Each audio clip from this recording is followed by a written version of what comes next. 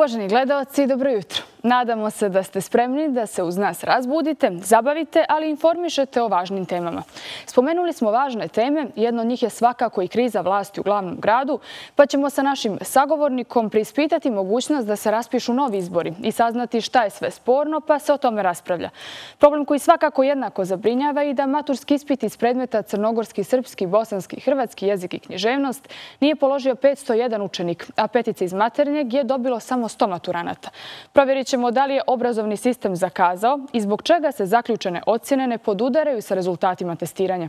Jun je mjesec LGBTQ plus prava i ispitat ćemo u kakvom su položaju pripadnici ove populacije u Crnoj Gori. Oni nisu jedini koji se suočavaju sa problemima, nažalost. Naime, statistički podaci pokazuju da stanovnici Zete sve više napuštaju ovu opštinu. Naša ekipa će saznati sve uzroke ove posljedice. Za sam kraj, priča o onoj djeci koja imaju smetnju u razvoju, a za koje će se održati do donatorsko veče u organizaciji UNICEF-a. Pregršte zanimljivih, ali i važnih tema zato ćemo provjeriti gdje se nalaze naši reporteri i kojim će se temama oni baviti. Prije svega ćemo dobro jutro poželjeti Sari. Sara, dobro jutro. Spomenuli smo da je jun mjesec prava LGBTQ plus osoba. E, kako ti trenutno vidiš njihov položaj u Crnoj Gori? Dobro jutro, Andreja, tebi i svima našim gledalcima. Upravo tako, jun je mjesec e, ponosa. E, najvažniji događaj kada je u pitanju LGBTIQ pokret upravo su se događali tokom juna.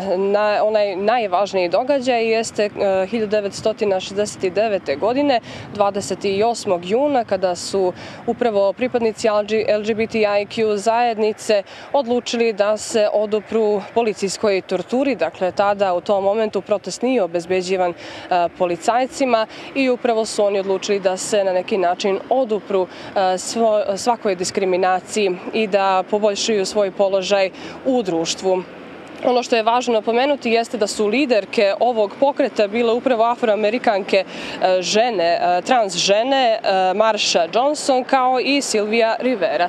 Mi ćemo ovog jutra govoriti o tome kakvom se trenutno položaju nalaze u Crnoj Gori upravo pripadnici LGBTIQ zajednice s izvršnim e, direktorom e, Udruženja za jednaka prava LGBTIQ osoba za Zapadni Balkan, ali i Tursku, Danielom Kalezićem, koji će nam eto kazati e, da li se poboljšao položaj u odnosu na raniji period. Već nakon toga ćemo se posvetiti i pravima životinja.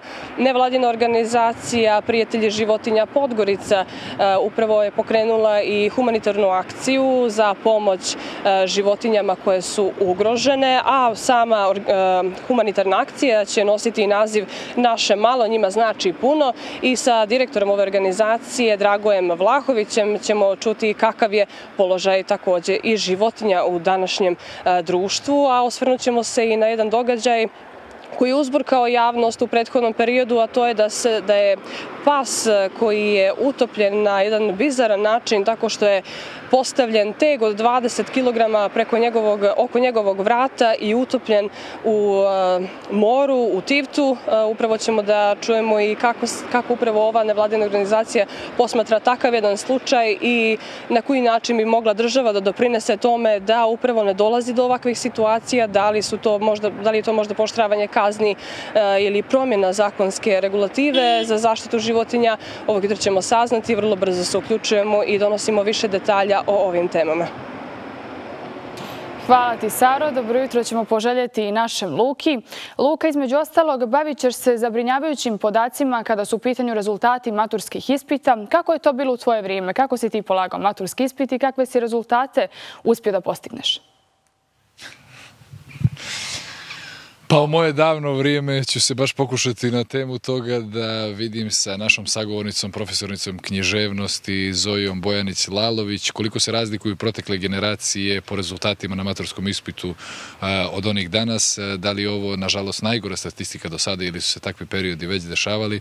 Koji su faktori koji utiču na to da li djeca manje čitaju nego prije? Kao i takođe čudnu situaciju gdje se ocjene sa kraja godine ne podudaraju sa uspjehom njihovom na maturskom ispitu, šta je moglo da dovede do toga, kao i generalno koliko današnje generacije čitaju s obzirom da se e, većina negativnih ocjena odnosi na materni jezik i književnost, a mi se, nažalost, i u drugom satu bavimo malo negativnom statistikom. Naime, e, prema podacima Monstata, sve više ljudi napušta opštinu, opštine Zeta, Bijelo polje i Nikšiće. Mi ćemo pričati sa Dušanom Radinićem, koji je predsjednik odborničkog kluba DPS-a u Zeti. E, da li Zeta kao mlada opština se i dalje izgrađuje, što bi moglo stimulišu u budućnosti ljude da se ta statistika smanji, kao i koji su faktori koji dovode do toga da se ljudi iseljavaju, da li su to ekonomske prilike u većem i razvijenijem gradu, tako da ostanite sa nama. Hvala ti, Luka. Anđela, dobro jutro i tebi. E, u fokusu tvojeg uključenja bit će i donatorsko veče. Kada će se održati?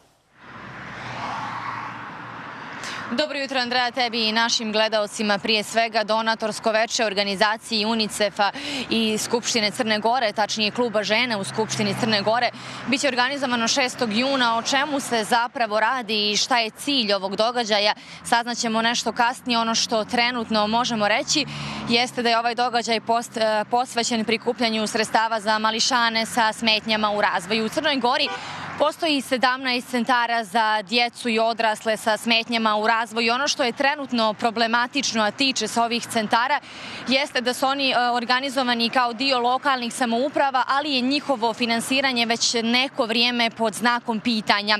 Zato su ovakve akcije veoma važne da bi ovi centri mogli da funkcionišu i da bi mališani, ali i odrasli sa smetnjama u razvoju mogli imati svoje vrstan vid pomoći i podrške u svakodnevnom funkcionisanju i samim tim kvalitetni život. Ono čime se takođe u nastavku ovoga jutra bavim nešto kasnije, bit će i rezultati maturskih ispita. Već smo pomenuli nešto, nešto ranije, tačnije ti Luka ste govorili o tome. Luka se time bavi iz ugla profesora. Ja ću se malo više baviti brojkama i statistikom sa direktorom ispitnog centra Milošem Trivićem. Statistika je zaista poražavajuća. Nešto kasnije, kao što rekao, detaljno o brojkama. Ono što je važno e, postaviti pitanje i dobiti odgovor na pitanje e, ko je zakazao, zbog čega i šta sada. Činjenica je da je mnogo više nedovoljnih ocjena nego odličnih i da se to stanje ne poklapa sa stanjem u školskim dnevnicima. Da li je vrijeme da se nešto veliko i ozbiljno mijenja kada govorimo o obrazovnom sistemu da li imamo potpuno e, narušen sistem i ko na kraju najviše ispašta, da li je riječ o djacima, e, da li je riječ o e, nastavnicima ili generalno o obrazovanju cjelokupnom u Crnoj Gori. E, dosta pitanja, nadamo se da ćemo naći bar neke od odgovora, potrudit ćemo se, postavit ćemo pitanja kao i svakoga jutra,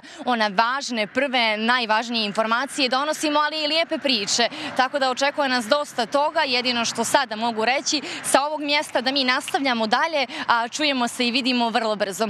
Studio! Hvala Anđela tebi, ali i svim našim reporterima. Čekamo vas. A sada je vrijeme za najvažnije vijesti do 7 sati. Pravovremeno usvajanje zakona koji se odnose na proces dobijanja izvještaja o procjeni ispunjenosti privremenih mjerila za poglede 23 i 24 za ispunjavanje privremenih standarda u poglavljima o vladavini prava sada je ključno, saopštio je predsjednik Evropskog savjeta Charles Michel. A da će Crna Gora za nekoliko sedmica dobiti pozitivan izvještaj o ispunjenosti privremenih mjerila, vjeruje poslanik predsjednik Evropskog parlamenta Vladimir Bilčak. Bilčik je to kazao novinarima u Podgorici gdje je razgovarao i sa predsjednikom države Jakovom Milatovićem. Uvjeren je da bi Crna Gora u narednih nekoliko godina najprije mogla postati sljedeća članica Evropske unije. Crna Gora je, kaže Bilčik, shvatila da je vrijeme za promjene, što je zaključuje put ubrzanja pristupnih pregovora. Najveći dio posla Crnu Goru čeka, ukazuje predsjednik države, nakon dobijenja Ibara. Sada, kako je istakao, mora iskoristiti trenutak kako kako bi u Evropsku uniju ušlo do 2028. godine. Saopšteno je nakon e, sjednice iz Milatovićevog kabineta, nakon sastanka sa Bilčikom. Predsjednik Demokratske partije socijalista Daniel Živković je gostujući na antenijem komentarisao navode u medijima o hapšenju bivšeg predsjednika Crne Gore i DPS-a Mila Đukanovića. Kazao je da će ukoliko do toga dođe, odgovor biti radikalan. Živković je kazao i da ne vjeruje da postoje bilo kakve indicije, dokazi i činjenice koje bi mogle da dovedu do hapšenja Đukanovića. Ako postoji ta i takva namjera i ako neko misli da će političkim uticajem ili instrumentalizacijom pravosuđa da e, pokrene i nastavi odnosno tu spiralu revanšizma ili eventualno da kroz iskazanu namjeru krene u takav, u takav naum, ovo o čemu ste vi govorili, onda nemojte imate bilo kakvu dilemu da će odgovor biti radikalan. Što to znači? To znači da ćemo se organizovati dovoljno dobro da ćemo takve naume spriječiti. Specijalni tužilac Miloš Šoškić, koji vodi istragu protiv bivšeg specijalnog tužioca Milivoja Katnića i nekadašnjeg visokog policijskog funkcionera Zorana Lazovića, nije postupio po smjernicama i zahtjevu vijeća Višeg suda, koji u obrazloženju odluke o produženju pritvora okrivljenima navelo da je neophodno saslušati svjedoke u što kraćem roku. I nakon 20 dana od jasnog ukaza vijeća Višeg suda, tužilac Šoškić nije saslušao sve svjedoke. Prema informacijama pobjede, iskaz u svojstvu građanke još uvijek nije dala specijalna tužilac tužiteljka Sanja Jovićević, dok su ostali svjedoci koji su predloženi naredbom za sprovođenje istrage dali izjave. Njemački sud u jednom od predmeta odbacio je kriptovanu komunikaciju Sky kao nevaljan i nepotpun dokaz koji je u sukobu sa domaćim zakonodavstvom.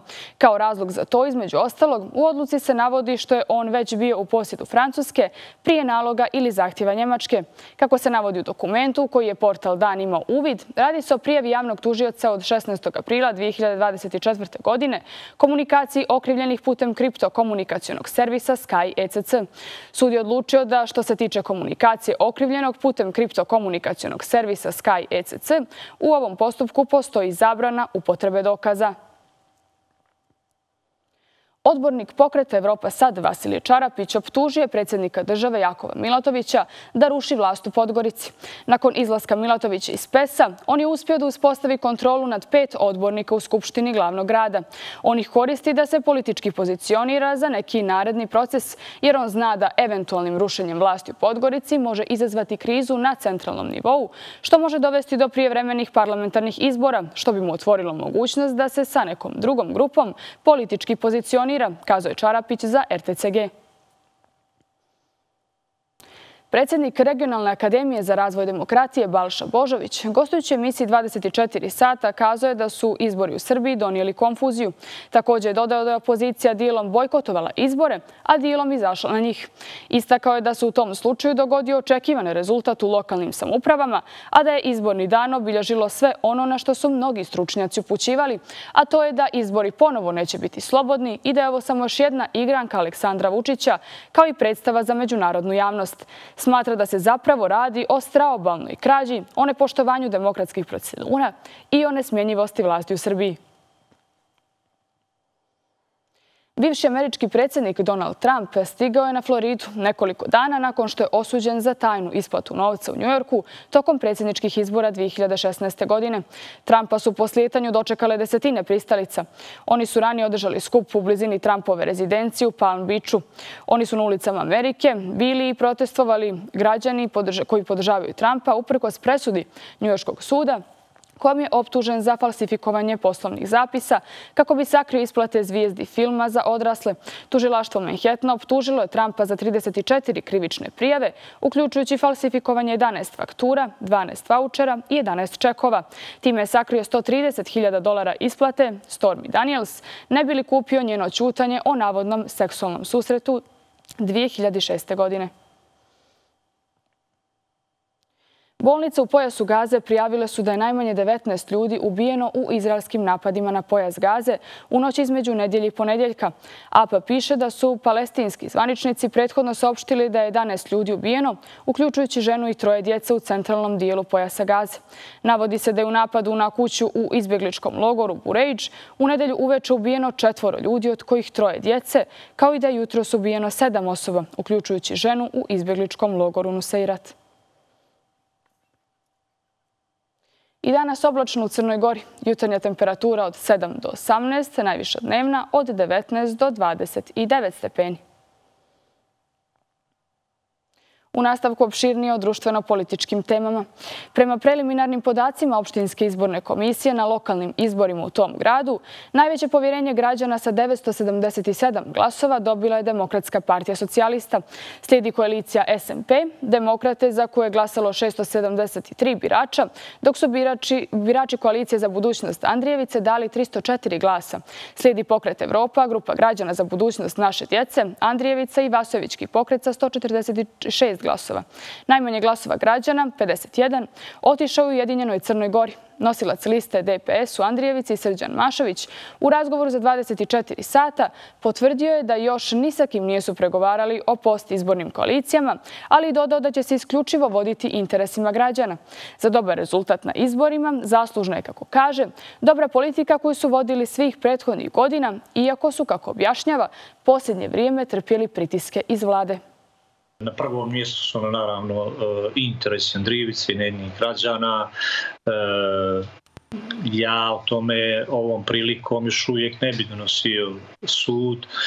Tome će organi partije odlučiti, ali u svakom slučaju sa onima koji misle dobro Andrijevici, e, koji misle za razvoj Andrijevice, koji razmišljaju o, o, o, o projektima koje smo mi ovdje već davno bili započeli i tako dalje, da se to može nastaviti, realizovati, dakle, e, snimat ćemo, pružit ćemo im ruku, E, pomirenja i pokušati da napravimo neku priču koja bi u krajnjem donijela e, benefite i korist e, i ekonomsku i ljudsku i svaku drugu i građanima Drivice i krajnje vrijeme da, da, da, da prestanemo s podjelama, da se oslobodimo i crnogorskog i srpskog nacionalizma i tako dalje i da razmišljamo negdje o sami sebi o svojim, i o svojoj Andrijevici. Čuli smo u prethodnom e, prilogu da su građani Andrijevice vrlo e, nezadovoljni e, situacijom u svojoj opštini i dosadašnjom vlašću. Šta je prema vašem mišljenju najbitnije za razvoj Andrijevice? Pa razvojni projekti, kao što sam već rekao, uh, ima ih više uh, i to je ono negdje što sam na startu i, i, i rekao što je nas preporučilo da imamo ovako dobar uh, izborni rezultat. Mi smo to u desetogodišnjoj vladavini ovdje argumentovano pokazali građani su to prepoznali, sjećaju se toga, E, sjećaju se naše ideje o e, otvaranju kasarne u Andrijevici, o kući voća, o, e, da ne pričam sad šta smo sve radili iz oblasti e, turizma, poljoprivrede i tako dalje, e, nego eto, desilo se Nažalost, 20. godine to što se desilo sa zakonom o slobodi e, vjeroispovesti, prosto smo bili e, kolateralna šteta toga zakona, inače smo sigurno uživali veliko povjerenje ovdje, ali eto, desilo što se desilo kaznili su nas, iako mi naravno ovdje lokalno nemamo nikakve veze s tim zakonom, ali kaznili su nas toga, ali evo negdje se to juče a, povjerenje dobrim dijelom povratilo. I nadam se da ćemo napraviti, evo, pošto sam prije rekao, neku priču i da ćemo, mi imamo ono što je neosporno i što ne može niko da nam ospori. Demokratska partija socijalista Ondrijevici ima e, ljudske, intelektualne e, i kakve god hoćete resurse e, daleko ispred svih ostalih partija. I ja mislim, onaj ko misli dobro Andrijevici, ko želi dobro Andrijevici, ne mora pružiti ruku i mora razgovarati sa nama. Dva dana nakon lokalnih izbora u Andrijevici, građani nezadovoljni životom u svom gradu. Nadaju se da će nova lokalna vlast život u Andrijevici učiniti boljim. Ponedjeljak kao i svaki drugi. Za Milorada Turovića iz Andrijevice, dan nakon izbora, ništa se nije promijenilo. Ne vjeruje da će rezultati lokalnih izbora njemu i njegovim sugrađanima donijeti bolji život. Razočaran odnosom prethodne vlasti i njenim radom, nije optimista nikada je riječ o budućnosti Andrijevice i njenih građana. Pred izbore teče med i mlijeko. Čijim izbori prođu? Ona partija koja dobije onome, ali ne svijema, no onijem aktivistima što su, onome povedu asfalt, onome e, zaposle nekoga, iđe ga zaposle komunalno pretrpan, park prirode je pretrpan, opštine nemaju stolica, dom kulture nemaju stolica. Ja to gledam, ja to svaki dan gledam. Oni nemaju mjesta, nemaju kancelarija, nemaju, nemaju mjesta da smjeste njihove radnike. No imeno ispred kancelarija dvore, ovako kao ja na ulicu. U Demokratskoj partiji socijalista, koja je osvojila najveći broj mandata i popravila parlamentarni rezultat za 65 od 100, zadovoljni su rezultatima. Kažu da su i pored brojnih pritisaka na birače, od, kako tvrde, drugih političkih subjekata, dobili najveće povjerenje građana. Nadaju se da će biti nezaobilazan faktor u formiranju vlasti u Andrijevici. Ja bi se osvrnuo da su, što se tiče e, e, zlupotrebljeni državni funkcioneri koji su gotovo posljednjih desetak dana, pogotovo tu je prednjačio e, gospodin Joković, ministar poljoprivrede, koji je svakodnevno obilazio mjesne zajednice, obećavali razne, vršili pritiske, e, radna mjesta. Nevjerovatan, nevjerovatan je bio pritisak na sve građanske liste, e, jer smo i mi normalno građanska opcija. Ovaj, u Andrijevici, tako da eto, i građani sada je trenutno neka pat pozicija. Niko nije ostvario ubedljivu pobjedu da može formirati vlast. E, u Andrijevici treba raditi prvenstveno na pomirenju. Dvije građanske liste, ujedinjene u želji da, kako kažu, Andrijevica bude bolje mjesto za život, osvojile su ukupno četiri mandata i odlučne su jednom. Sa SMP-om i demokratama pregovora nema. Tvrde da su prethodnih dana dobijali uvrede, prijetnje i ucijene. Uprkos tome, zadovoljni su rezultatom. I oni vjeruju da će biti odlučujući faktor u formiranju vlasti. Mi smo prezadovoljni s našim ulaskom u parlament. Imaće jedan mali zemljotres od 1,8 stepeni Richterove skale gdje, oni, gdje ćemo kontrolisati potpuno ovaj dešavanja u parlamentu i uopšte u organima lokalne uprave da konačno vratimo Andrijevici, maloj Andrijevici, ali ovaj da vratimo ono što je sve oduzeto i što je u poslednjih četiri godine uništeno. A, pa vrlo teško će se formirati vlast u Andrijevici, vrlo teško. Mi nećemo sigurno dati podršku SMP-u i demokratama, jer su bili vrlo nekorektni, nekorektni u predizbornim ovim igrama. Ovaj, što se tiče DPS-a, o njima nismo razmišljali, a to ostavio bih to organima partije da, da ovog to je pokreta da odluče jer nisam sam u ovome možemo dati podršku u Evropi sad i e, DF-u ili oni nama, uglavnom može da, da, posto, da se postigne između nas neki dogovor. Poput Milorada Turovića, većina građana Andrijevice ne vjeruje da će rezultati lokalnih izbora bilo šta bitno promijeniti u njihovim životima.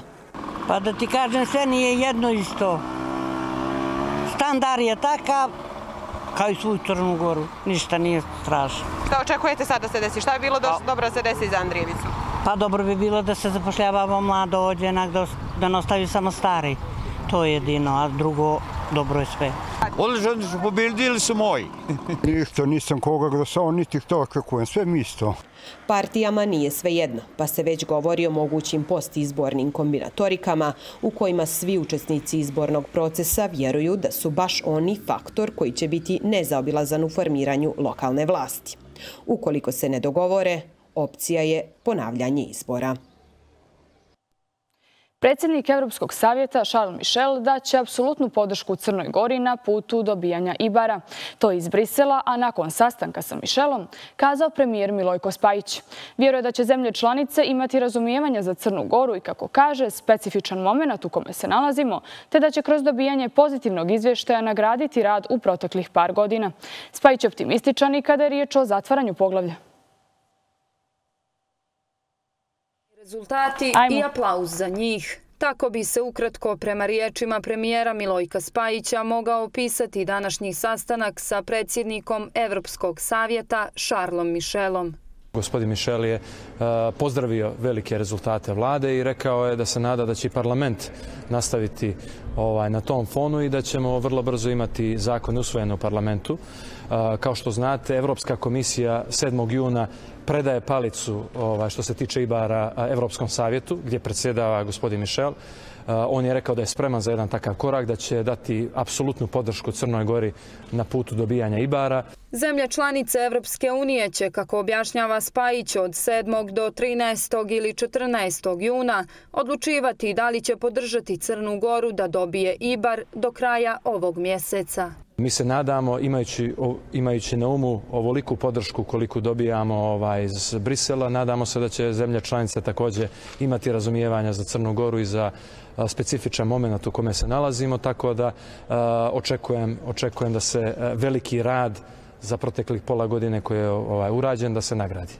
Upitan šta će biti prvi naredni korak te kada možemo očekivati da prva poglavlja budu zatvorena, premijer odgovara. Mi očekujemo e, prva poglavlja vrlo brzo da krenu da se zatvaraju, ovaj, odmah po dobijanju Ibara, ali ne bih sad još da govorim o tome, ne bih da trčimo ovaj, previše u naprijed. Uh, e, ajmo mi prvo ovu utakmicu da pobijedimo, pa ćemo ovaj, poslije toga da idemo sljedeću utakmicu. Uh, već se i pripremaju neki planovi za, za dan poslije. Uh, pričat ćemo o tome odmah po dobijanju Ibara.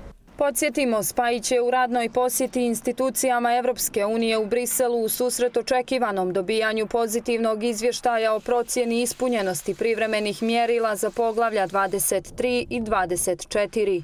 Tokom boravka u Briselu Milojko Spajić sastaće se i sa generalnim direktorom Generalnog direktorata Evropske komisije za proširenje i susjedstvo Gertom Janom Kopmanom.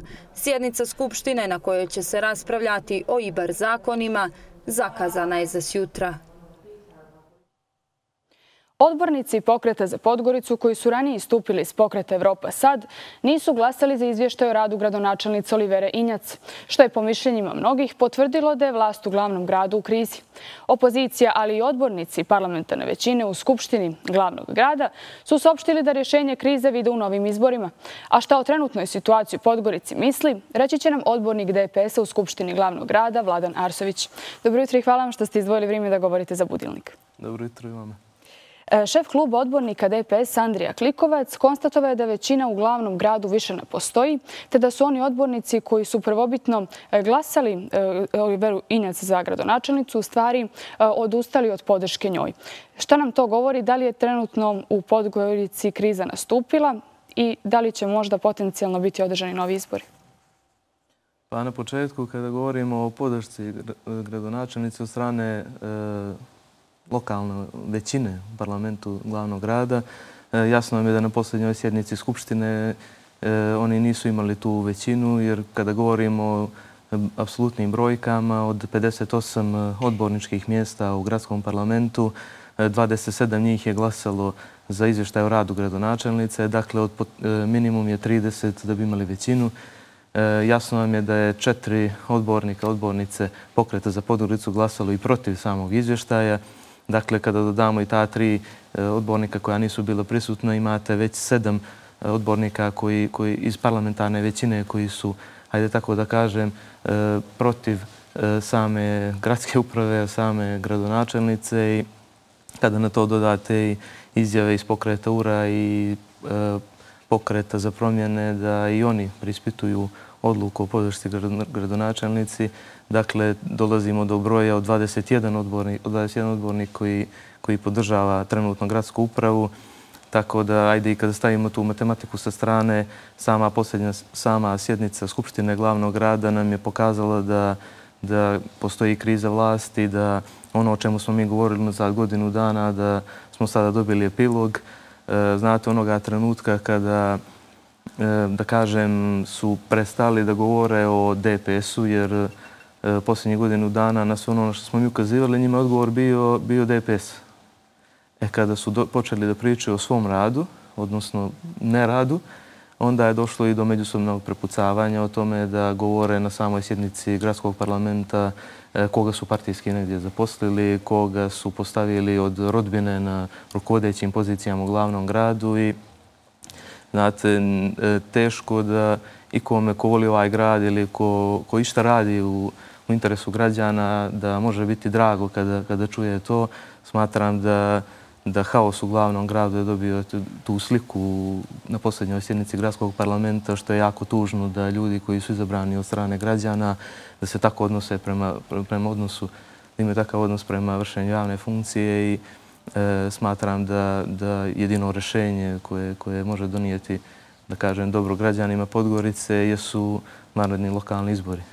Neki smatruju da još nisu stečeni uslovi da bi se ti izbori održali. A kako vi to posmatrate?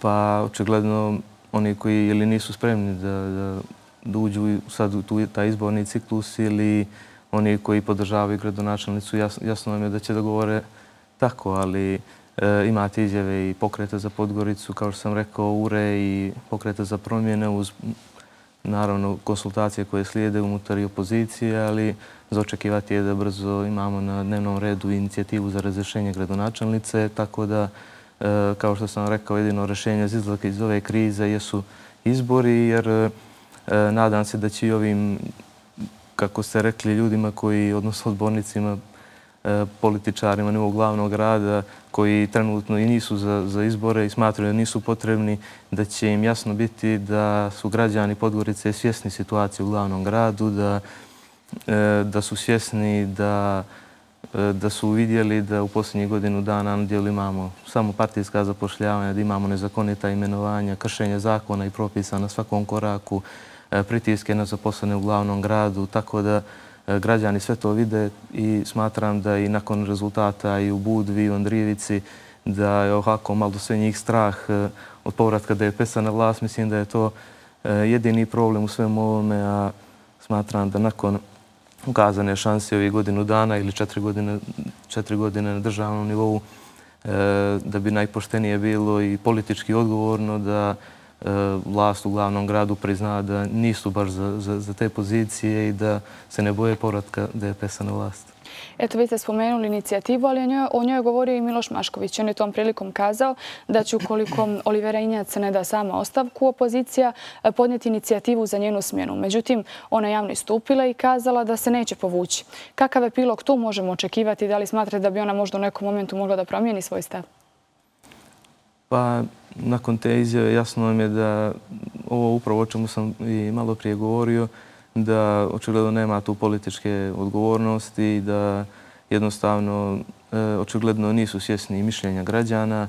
E, mi kao neko ko je u direktnom kontaktu sa građanima 24 sata e, smo svjesni da te situacije očigledno oni dalje vjeruju da na neki način mogu sačuvati tu vlast, ali kaže vam kad su i građani, oni koji su vas glasali, a i kao što smo već na početku emisije rekli, i oni odbornici koji su je dali podršku kada su sad protiv nje, smatram da, da se njen mandat bliži kraju i da eto, samo je pitanje momenta kada će biti predata inicijativa i biti izglasano njeno nepovjerenje. Na društvenim mrežama je postao popularan snimak gdje je na sjednici Skupštine e, vama direktorica biblioteke Radosav Ljumović, Slavica Ilinčić, objašnjava čime se to bavi e, njen pomoćnik. Da li je to pravi primjer kadrovskih rešenja uprave glavnog grada? Pa znate, smatram da je to slika i prilika kadrovskih rešenja na nivou glavnog grada. E, ovaj trenutno politički sunovrat e, vladajuće većine je upravo rezultat njihovog kadrovskog njihovog kadriranja u prethodnih godinu dana. Mi smo prije e, tako da kažem, na početku njihovog mandata ukazivali na, kada je bilo formiranje upravnih odbora, ukazivali na neregularnosti, nezakonitosti. Mi smo tada imali izglasavanje određenih upravnih odbora bez dostavljanja njihovih biografija. Znate, kada vidite da u upravnom odboru puteva sjedi vozač Andrija Mandića, mislim, sa srednjom školom ili možda umeđu vremenu i završenim fakultetom, ali kažem vam, mi nismo bili u prilici ušte da imam uvid u te biografije kada na posljednjoj sjednici odbornici vladajuće većine priznaju svoju grešku i priznaju da su bili taster odbornici, kada javno to kažu da nisu imali biografije. Kao rezultat eh, takvih postavljenja kod upravnih odbora imamo i direktore preduzeća, kao što je recimo u ovom konkretnom slučaju direktorice biblioteke Slavica Ilinčić.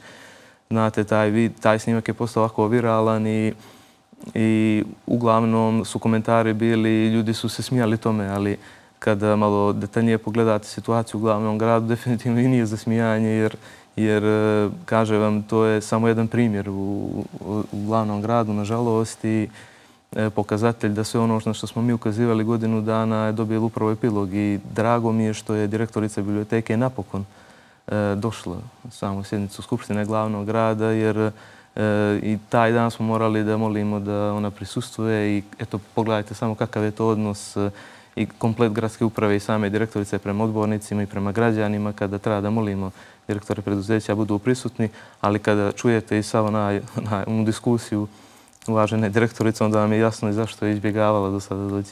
Između ostalog je kazala ako pronađete oluk i da vas vodi na večeru, da li ste ga pronašli, da li ste večerali?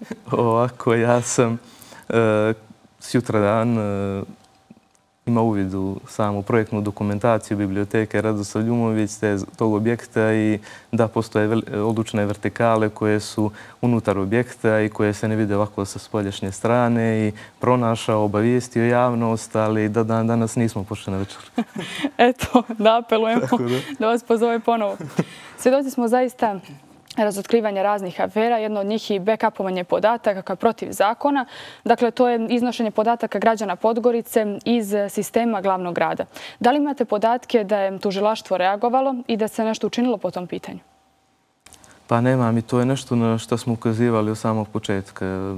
Tu je za pohvalu i reagovanje same službenice glavnog grada i direktora CIS-a koji su i primijetili to i prekinuli, raskinuli ugovor, ali izostalo je e, djelovanje nadležnih institucija.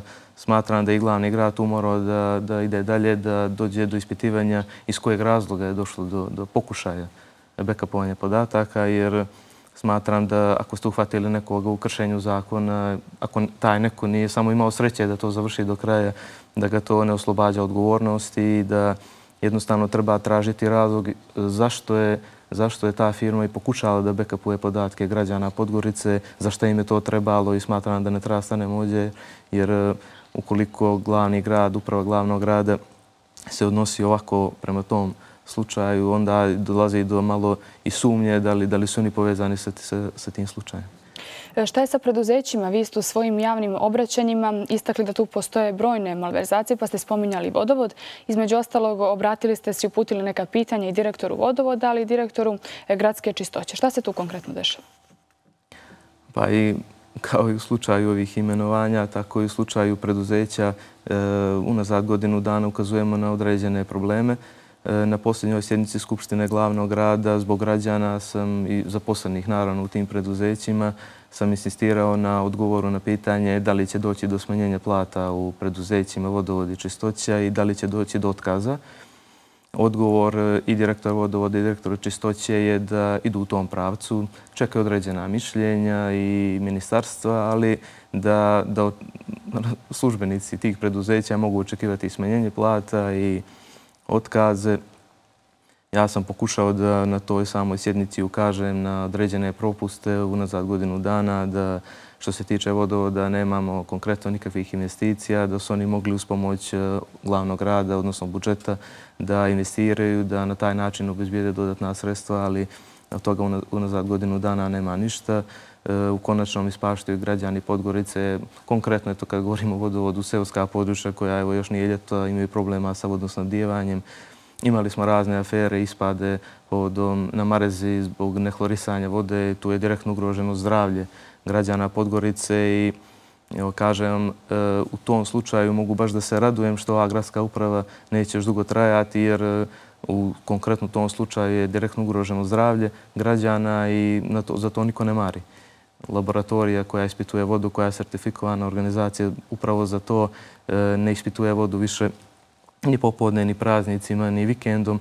Dakle, e, kada dođe do tih ispada, kada ljudi ne smiju i kada bi ljudi, odnosno građani Podgorice, trebali budu obavješteni samo sat vremena nakon tog ispada, e, vama je jasno ako se to desi u popodne časovima ili vikendom, da će proći par dana dok to dođe do građana Podgorice i kakve samo mogu biti posljedice zbog toga. Hvala vam puno što ste izdvojili vrijeme da govorite za budilnik. Hvala vam.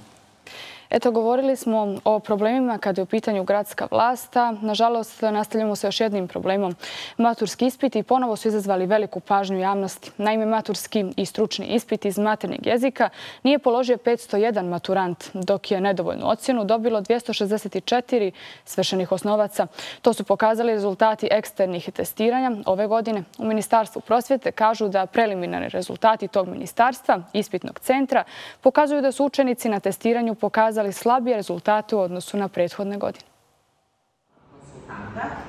Maturski i stručni ispit iz predmeta crnogorski, srpski, bosanski, hrvatski jezik i knježevnost nije položio 501 maturant, pokazuju preliminarni podaci Ministarstva prosvjete, nauke i inovacija i ispitnog centra.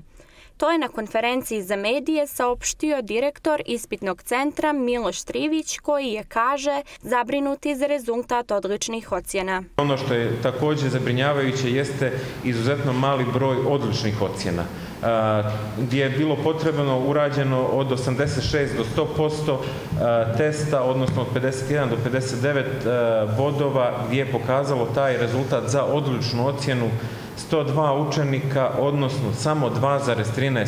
A ako uporedimo da ove godine imamo preko 300 e, luča u srednjoj školi, izuzetno je zabrinjavajući podatak gdje nam se e, preko 200 luča izgubilo.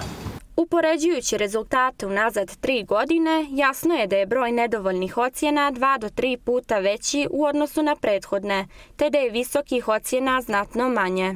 Što se tiče poređenja sa više godina unazad, odnosno dok su tada bili i drugačiji oblik testova kada je bio esej, pa stari test, odnosno tek od 21. imamo ovaj koncept, vidite da je ove godine opet najizraženiji broj nedovoljnih ocjena, a najmanji broj odličnih ocjena u zavisnosti toga da li se radi o maturskom ili stručnom ispitu. Slabiji rezultat iz crnogorskog, srpskog, bosanskog, hrvatskog jezika i književnosti je postignuti među polumaturantima. Nedovoljnu ocjenu na eksternoj provjeri znanja dobilo je 264 učenika, dok je jedinicom tokom redovnog školovanja bilo ocjenjeno tek 56 džaka. Veliki disbalans u broju odličnih ocjena, gdje smo imali 1620 zaključnih petica na kraju školovanja, a na eksternoj maturi, samo, e, na eksternoj provjeri znanja, pardon, samo 591. Loši rezultati među osnovcima zabilježeni su i iz matematike, koja je obavezan dio testiranja. Iz tog predmeta postignut je najslabiji rezultat unazad šest godina. To govori, e, o tome govore sljedeći podaci, da je na kraju e, osnovne škole bilo 187 učenika koji su imali nedovoljnu ocjenu, a da ih je e, na, kraj, na eksternoj provjeri znanja bilo 1244. Ovdje mene također brine podatak da je od ovog ukupnog broja učenika šest njih koji su imali zaključnu peticu u školi a da su na eksternoj provjeri znanja dobili jedinicu. Prema riječima ministarke prosvjete nauke i inovacija Anđele Jakšić-Stojanović, rezultati pokazuju realno stanje maturanata i polumaturanata. To znači da je vrijeme da podvučemo crtu, da kažemo tu smo gdje smo i da vidimo šta je to što treba da radimo u narednom periodu kako bi ovi rezultati bili bolji. Meni se čini da smo se godinama Uh, unazad lagali kad su u pitanju i rezultati eksterne mature i kad je u pitanju uh, sama provjera znanja na kraju uh, godine, kad su u pitanju polomaturanti. Iz ministarstva i ispitnog centra uvjereni su da je ovakav ishod rezultat novih pravilnika i uvođenja detektora. Za naredni period najavljuju aktivnosti koje uključuju provjeru ocjena tokom školovanja. I u nastavku govorimo o rezultatima na maturskom ispitu, a razloge što su džaci i ove godine pokazali slabo znanje. Luka će saznati u razgovoru sa profesoricom književnosti i nekadašnjom direktoricom gimnazije Slobodan Škerović. Tako je, Andreja, sa nama je Zoja Bojanić-Lalović, profesorica književnosti, od koje ćemo se baš potruditi da saznamo odgovore na pitanja šta je uzročnik ovakve statistike kada je u pitanju polaganja maturskog ispita. Dobro jutro i hvala što govorite za budilnik. Dobro jutro i hvala vama na prilici da kažem nešto o ovom pitanju. Nema na čemu, pa evo mogli bi da počnemo baš s ovim što sam rekao u najavi. Šta mislite da je razlog ove da tako kaže možda malo poražavajuće statistike kada je u pitanju uspjeh e, maturanata na ispitu? Vidite, ovakvi rezultati ne mogu biti posljedica samo jedne situacije ili samo jednog izazova zato što mislim da u obrazovanju postoji puno toga što se nekako e, posljedično ovdje pojavljuje kao loš rezultat. Prije svega mislim da je to e, odnos sanje stanje u e, samoj samim obrazovno-vaspitnim e, ustanovama, dakle e, stanje e, kada je riječ o infrastrukturi, prebukiranost škola, nemogućnost e, nastavnika da e, se potpuno fokusiraju na rad sa učenicima, tačnije da se posvete svakom učeniku pojedinačno, kvalitet nastave samim tim gubi. Zatim opremljenost škola koja negdje mora pratiti i sve promjene u obrazovanju i uopšte promjene u društvu. Živimo u vremenu vještačke inteligencije i jasno je da to mora pratiti adekvatna oprema I u konačnom eh, ovdje je očigledno da postoji jedan nesklad između eh, programa i njihove realizacije. Dakle, eh, ovo zahtijeva jednu ozbiljnu analizu, jedan ozbiljan pristup koji podrazumijeva reformu ne samo e, programa, dakle obrazovnih programa, već podrazumijeva i jedan e, drugačiji pristup oblici nastavnika, dakle podrška nastavnicima, e, drugačiji pristup metodama rada, kako bi naravno i znanje koje učenici stiču u nastavi bilo primjenjivo i u realizaciji ovakvih testova. E, baš bih se nadovezao jer mi je to zanimljivo sad upravo što ste rekli kako je potrebna ta neka promjena u pristupu obrazovanja kada su djeca u pitanju. Da li je možda razlog tome što djeca sada žive u malo bržem vremenu, toj digitalnoj, tako da kažem, meri u virtualnom svijetu gdje su im informacije jako brzo servirane, možda im i opse koncentracije manje nego što je prije bio, pa je potreba neki vid inovacije da bi se današnja djeca stimulisala odnosu na, odnosu na one prethodne generacije e, kada je u pitanju učenja. Pa naravno, evo, dobro ste rekli, sve se brzo mijenja. E, djeca mnogo, odnosno mladi, mnogo brže reaguju na promjene nego stariji i e, samim tim e, dolazi do toga da vi ne možete da pratite sve ono što oni traže i zahtijevaju u samom procesu nastave da prosto ne propustim da kažem da e, sve ovo negdje govori o našem odnosu prema obrazovanju. Čini mi se da nismo e, razumjeli razumijeli na pravi način koliko je obrazovanje za jedno društvo bitno. E, koliko se zanemaruje činjenica da obrazovanje ne može da čeka. Da sve što mislite da treba da promijenite, već to morate raditi odmah jer će vas pregaziti prosto vrijeme i u tom smislu vi zaostajete za savremenim obrazovnim sistemima. Posljednjih nekoliko godina se u obrazovanju ništa konkretnije nije uradilo. Imali smo jedan diskontinuitet koji se ogledao i u promjeni u rukovodđenju. Imali smo diskontinuitet kada je riječ o politikama obrazovnim i samim tim obrazovanje trpi. E, tako je, e, mladi traže e, brzu reakciju jer oni brzo reaguju na sve promjene. Sve to e, kada pogledate na kraju, e, ne samo da e, pokazuje jednu lošu sliku o njihovom znanju, već pokazuje i lošu sliku o našem društvu. E, ono što nas također zanima je e, kako je moguće recimo da su djece imala na kraju školske godine zaključenu peticu iz određenih predmeta dok su se mnogo gore pokazali na maturskom ispitu. E, da li to baš ima veze sa tim što ste spominjali kako je postao također i problem gdje veštačka inteligencija radi domaće za djecu ili je to možda problem gdje su neka djeca možda zbog uspjeha im je poklonjena ocjena. E, ne znam kako biste to objasnili. Vidite, moje dugogodišnje iskustvo u prosvjeti e, govori da nijesu uvijek rezultati testova i stvarno e, stanje kada je riječ o znanju učenika imamo i, i to moramo uzeti u obzir.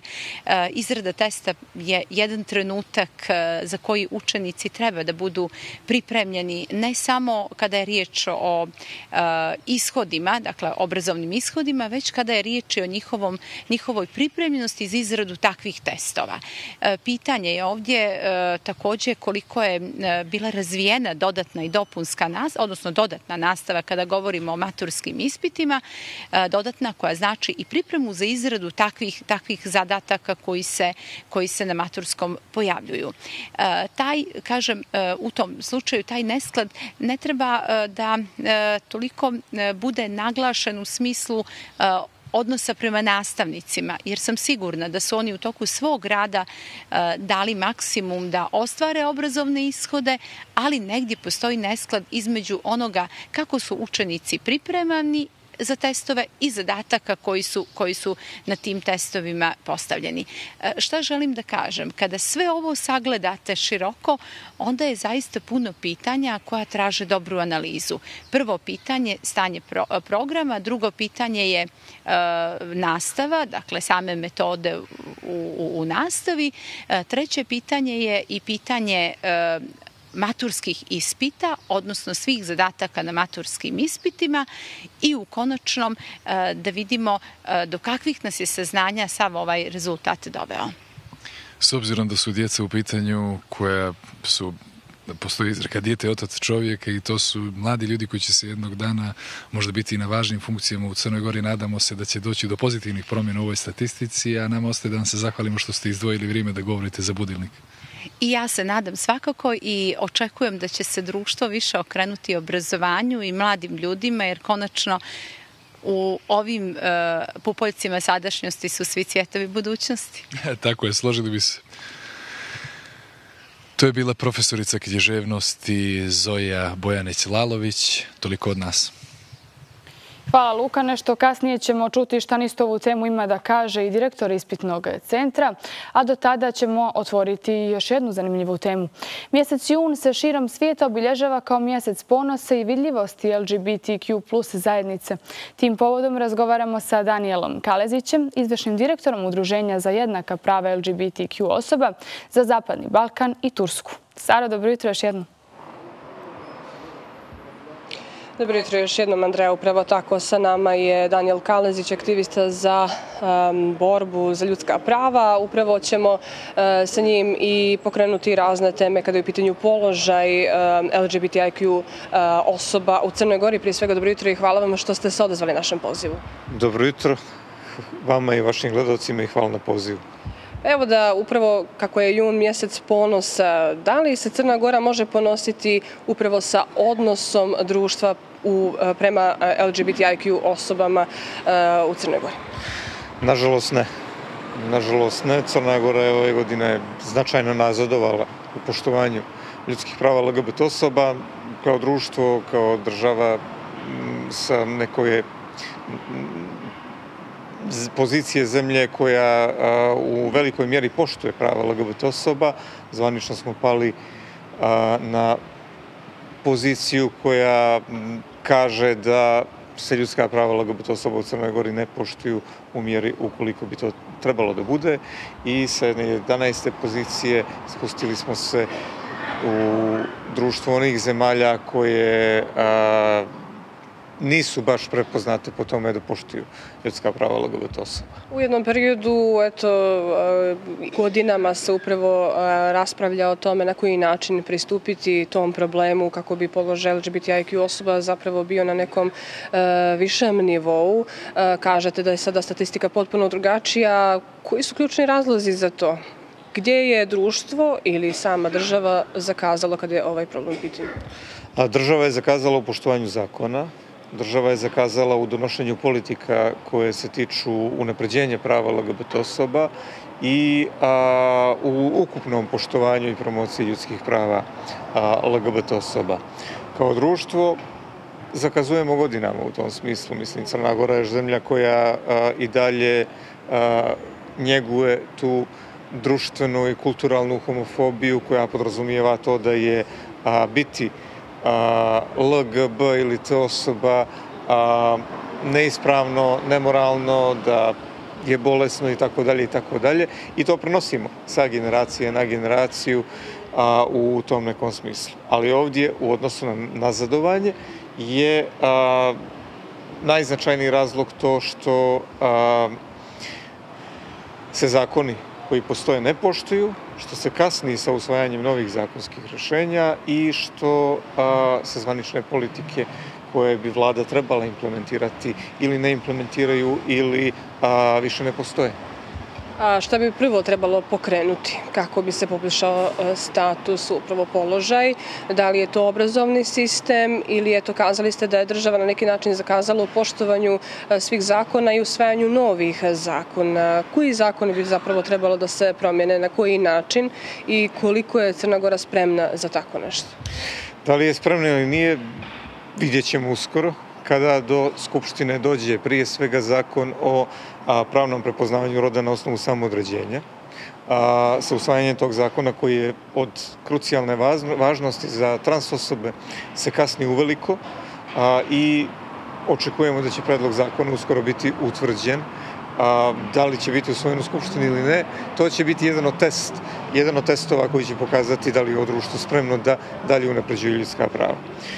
što se tiče ostalih zakonskih rešenja, a, i dalje nisu usklađeni povezani zakoni sa zakonom o životnom partnerstvu lica istog pola, evo već tri godine nakon usvajanja zakona i početka implementacije, a, i dalje 20 zakona nije, nije usklađeno i to stvara velike probleme ljudima koji a, registruju svoje životno partnerstvo sa osobom koju vole u smislu a, svakodnevnog života i ostvarivanja specifičnih prava. A, zakon o a, zaštiti od diskriminacije i promocije jednakosti a, je također zakon koji je i dalje na čekanju, koji treba da bude pripremljen i usvojen. A, ja nemam informaciju dok, dokle je taj proces sada stigao i strategije za unapređenje kvaliteta života LGBT osoba, a, strateški dokument koji predstavlja a, zvaničnu politiku vlade u smislu promocije i zaštite ljudskih prava LGBT osoba, a, je dokument koji mi nemamo a, od ove godine, a, nakon deset godina, koliko smo imali tu zvaničnu politiku, ali očekujemo da će u drugoj polovini godine taj dokument biti usvojen i da, da će makar to biti a, korigovano u tom nekom smislu. Što se tiče prioriteta, a, sve je prioritet. Sve je prioritet. Mi imamo nazadovanje već nekoliko godina a, i u društvenom prihvatanju i u a, odnosu na zakone, tako da sada me pitate da odaberem jednu stvar ili da ih nekako posložim po prioritetima i oblastima gdje treba sprovoditi intervencije, sve je hitno. U ovom trenutku je sve hitno, a, tako da, ne znam, možda, možda da a, se počne od edukacije, ali da se počne i a, efik, a, od efikasnije primjene zakona, pogotovo onih koji podrazumijevaju tretiranje krivičnih dijela počinjenih nad LGBT osobama kao zločina počinjenih izmržnje, što jeste otežavajuća okolnost u odnosu na odmjeravanje kazne. Samo ćemo kratko za kraj, imajući vidio da imamo podatke iz prethodnih godina kada je pitanje opština Budva, da tamo najviše je sklopljeno brakova istopolnih. E, međutim, ono što jeste važno napomenuti da su uglavnom u pitanju stranci. Da li to znači i da sami pripadnici LGBTIQ e, zajednice još uvijek nisu spremni da e, uđu u takav jedan sistem iz neke vrste možda straha? Strah je dominantan strah je dominantna kočnica i u autovanju i u odnosu na sklapanje partnerstava, a opet taj strah dolazi i jeste indikator za ono koliko imamo mi stvarnog prihvatanja u društvu u tom smislu. Tako da, da, to jeste jedan od razloga. Hvala vam na izvanom vremenu. Hvala vam.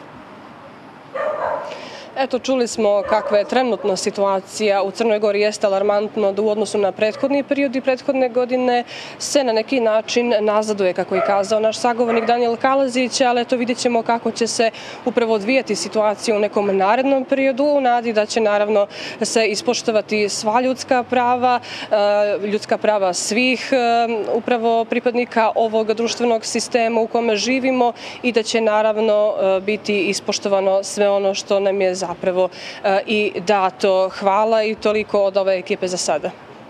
Hvala Saro i tebi i našem sagovorniku. Kada govorimo o problemu, negdje onda imamo i nadu da će se taj problem e, riješiti. Također, vrlo često apelujemo da svi treba da učestvujemo u humanitarnim akcijama. Pa u skladu sa tim, evo jedne lijepe vijesti. Ženski klub Skupštine Crne Gore u sradnji sa Međunarodnim klubom žena u Crnoj Gori UNICEF-om organizuje donatorsko veče za podršku djeci sa smetnjama u razvoju. Kako će ovaj događaj izgledati? Zašto su ovakve akcije važne i za šta će biti namijenjena prikupljena sredstva? Saznaje naša Anđela od Nade Đurović, koordinatorke Dječje zaštite UNICEF-u. Upravo tako, Andreja, dobro jutro još jednom tebi i gledalcima koji su se možda upravo priključili. Naša sagovornica, kako si već kazala, Nada Đurović-Martinović, dobro jutro. Hvala što ste nas ugostili ovim lijepim povodom. Dobro jutro i hvala na pozivu. Možemo li za početak da saznamo kako će izgledati donatorsko veče i ko će sve biti dio istog? Pa radi se o humanitarnom događaju koji, kao što ste rekli, organizuje među ženski klub e, Skupštine Crne Gore u saradnji sa Međunarodnim klubom žena i UNICEF-om i e, oni u stvari dio jedne šire akcije koju je UNICEF pokrenuo u partnerstvu sa e, privatnim sektorom u Crnoj Gori. Radi se dakle o e, prikupljanju sredstava za nabavku sve neophodne opreme i didaktičkog materijala za 17 dnevnih centara i centar za rani razvoj, ranije poznat pod e, nazivom Centar za autizam. E, događaju su, na događaju su pozvani e, svi predstavnici Skupštine Crne Gore, predstavnici vlade Crne Gore, e, pravosuđa, također međunarodna zajednica i e, privatni sektor koji imao sluha da se odazove ovoj akciji.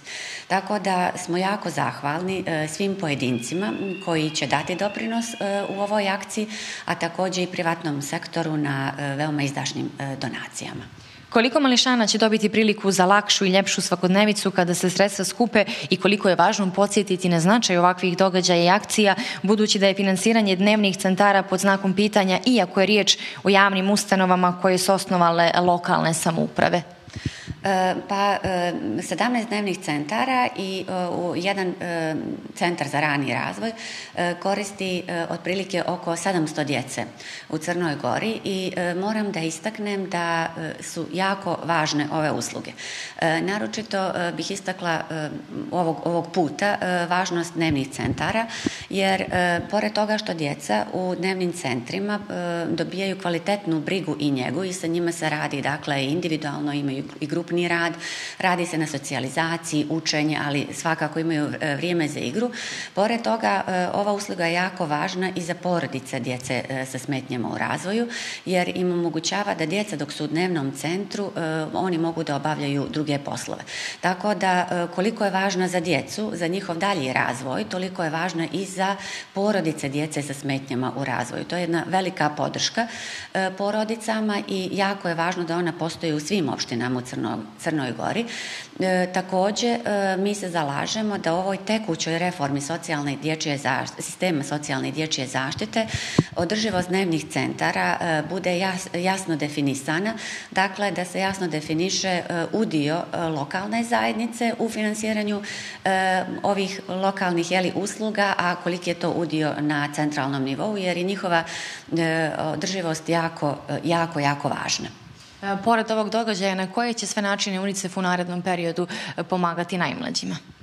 Pa e, UNICEF e, jeli, ima taj e, programski program saradnje sa vladom Crne Gore i u njemu su definisane ključne aktivnosti koje se odnose na unapređenje prava djece u Crnoj Gori, odnose se na rani razvoj djece, na kvalitetnije i bolje inkluzivno obrazovanje, na socijalnu dječju zaštitu koja opet obuhvata djecu koja su pogođena siromaštvom, djecu bez roditeljskog staranja, djecu koja su e, izložena bilo kom obliku nasilja i eksploatacije, e, tako, tako da e, u stvari radimo sa sistemom na boljem kako zakonodavnom, tako i institucionalnom okviru u smislu boljeg odgovora djeci i porodicama u Crnoj Gori. E, za kraj, jesmo li u prethodnih nekoliko godina uspjeli da stvorimo bolje društvo za, za najmlađe u Crnoj Gori? Je li im da, danas lakše? Da li žive ljepše? Da li su oslobođeni nekih briga i, i nekih teškoća sa kojima su se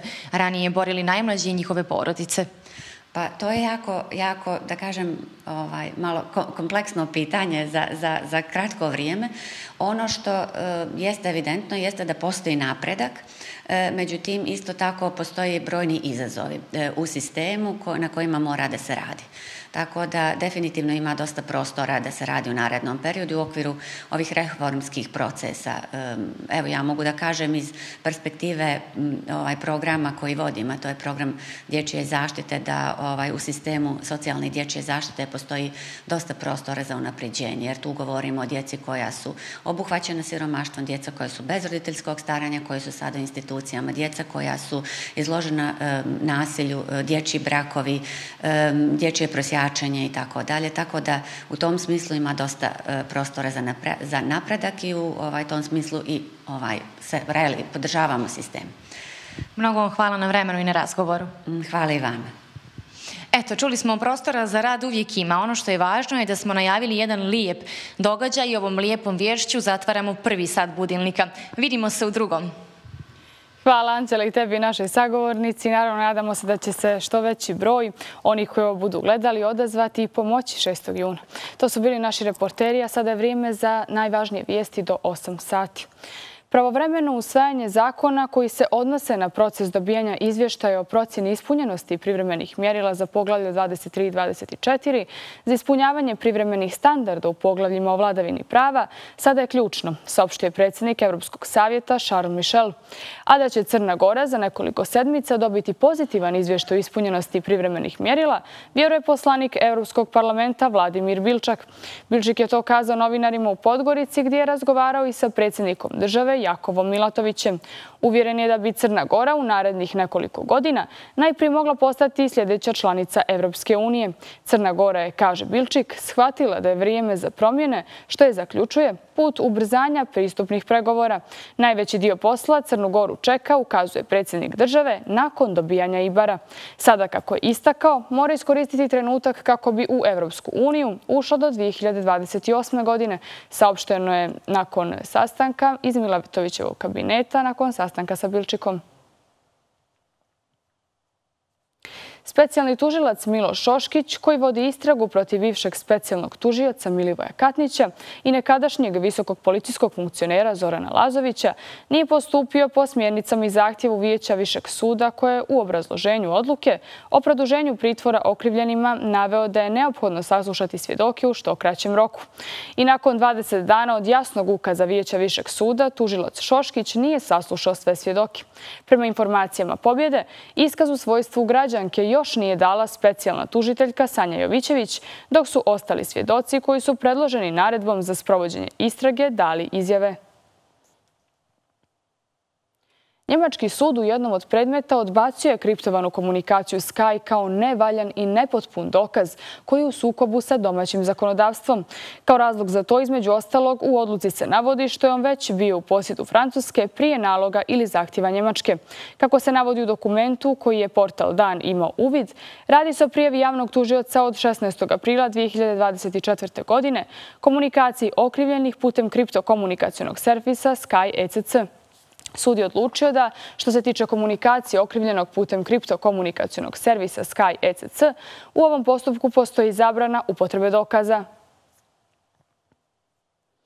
Bivši američki predsjednik Donald Trump stigao je na Floridu nekoliko dana nakon što je osuđen za tajnu isplatu novca u Njujorku tokom predsjedničkih izbora 2016. godine. Trumpa su po slijetanju dočekale desetine pristalica. One su i ranije održale skup u blizini Trumpove rezidencije u Palm Beachu. Bilo je protesta kojima građani podržavaju Trumpa uprkos presudi Njujorskog suda kojim je optužen za falsifikovanje poslovnih zapisa kako bi sakrio isplate zvijezdi filma za odrasle. Tužilaštvo Manhattana optužilo je Trumpa za 34 krivične prijave, uključujući falsifikovanje 11 faktura, 12 vouchera i 11 čekova. Time je sakrio 130.000 dolara isplate Stormy Daniels, ne bili kupio njeno čutanje o navodnom seksualnom susretu 2006. godine. Bolnice u pojasu Gaze prijavile su da je najmanje 19 ljudi ubijeno u izraelskim napadima na pojas Gaze u noć između nedjelje i ponedjeljka. AP piše da su palestinski zvaničnici prethodno saopštili da je 11 ljudi ubijeno, uključujući ženu i troje djeca u centralnom dijelu pojasa Gaze. Navodi se da je u napadu na kuću u izbjegličkom logoru Burejdž u nedelju uveče ubijeno četvoro ljudi, od kojih troje djece, kao i da je jutro ubijeno sedam osoba, uključujući ženu u izbjegličkom logoru Nuseirat. I danas oblačno u Crnoj Gori. Jutarnja temperatura od 7 do 18, najviša dnevna od 19 do 29 stepeni. Vrijeme je za pregled štamp. Najaktuelnije naslove domaćih i regionalnih portala komentariše novinarka Antena M. Mija Zeković. Dobro jutro i hvala ti što si izdvojila vrijeme da govoriš za budilnik. Dobro jutro, Andreja. Hvala na pozivu. Eto za početak, Daniel Živković izjavio je da ukoliko dođe do hapšenja Đukanovića, odgovor će biti radikalan. Predsjednik Demokratske partije socijalista Daniel Živković komentarisuje emisiji Drugačija radio veza Antene M najavu hapšenja bivšeg predsjednika Crne Gori i nekadašnjeg lidera DPS-a Mila Đukanovića. E, ova njegova izjava zaista je izazvala brojne reakcije u medijima. Kako vi to komentarišete? Pa sasvim je očekivano da će partija koju je gospodin Đukanović predvodio toliki niz godina i mjesta koje je pokrivao i na kraju krajeva ostavio generacijama koje su sada na snazi u toj partiji da će tako odreagovati. Svaki drugi odgovor bio bi pomalo čudan i bio bi neočekivan.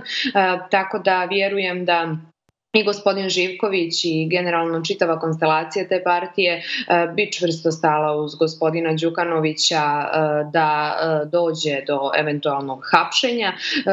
Vjerujem i da bi pokrenuli određene, određenu građansku neposlušnost, odnosno proteste na ulicama gdje bi se pojavile pristalice ne samo gospodina Đukanovića, već generalno suverenističkog bloka partija koje su e, ostvarile određene rezultate kroz prethodne, kroz e, prethodne godine, e, tako da svakako da bi taj potez izazvao određeno, određeno određenu reakciju građana eh, i to reakciju većeg broja građana. Međutim, to ne treba doživljavati donekle kao pritisak na, eh, na eh, institucije sistema, kao što su to mnogi prokomentarisali, da je zapravo to vršenje pritiska na tužilaštvo, na sudije, na sudstvo.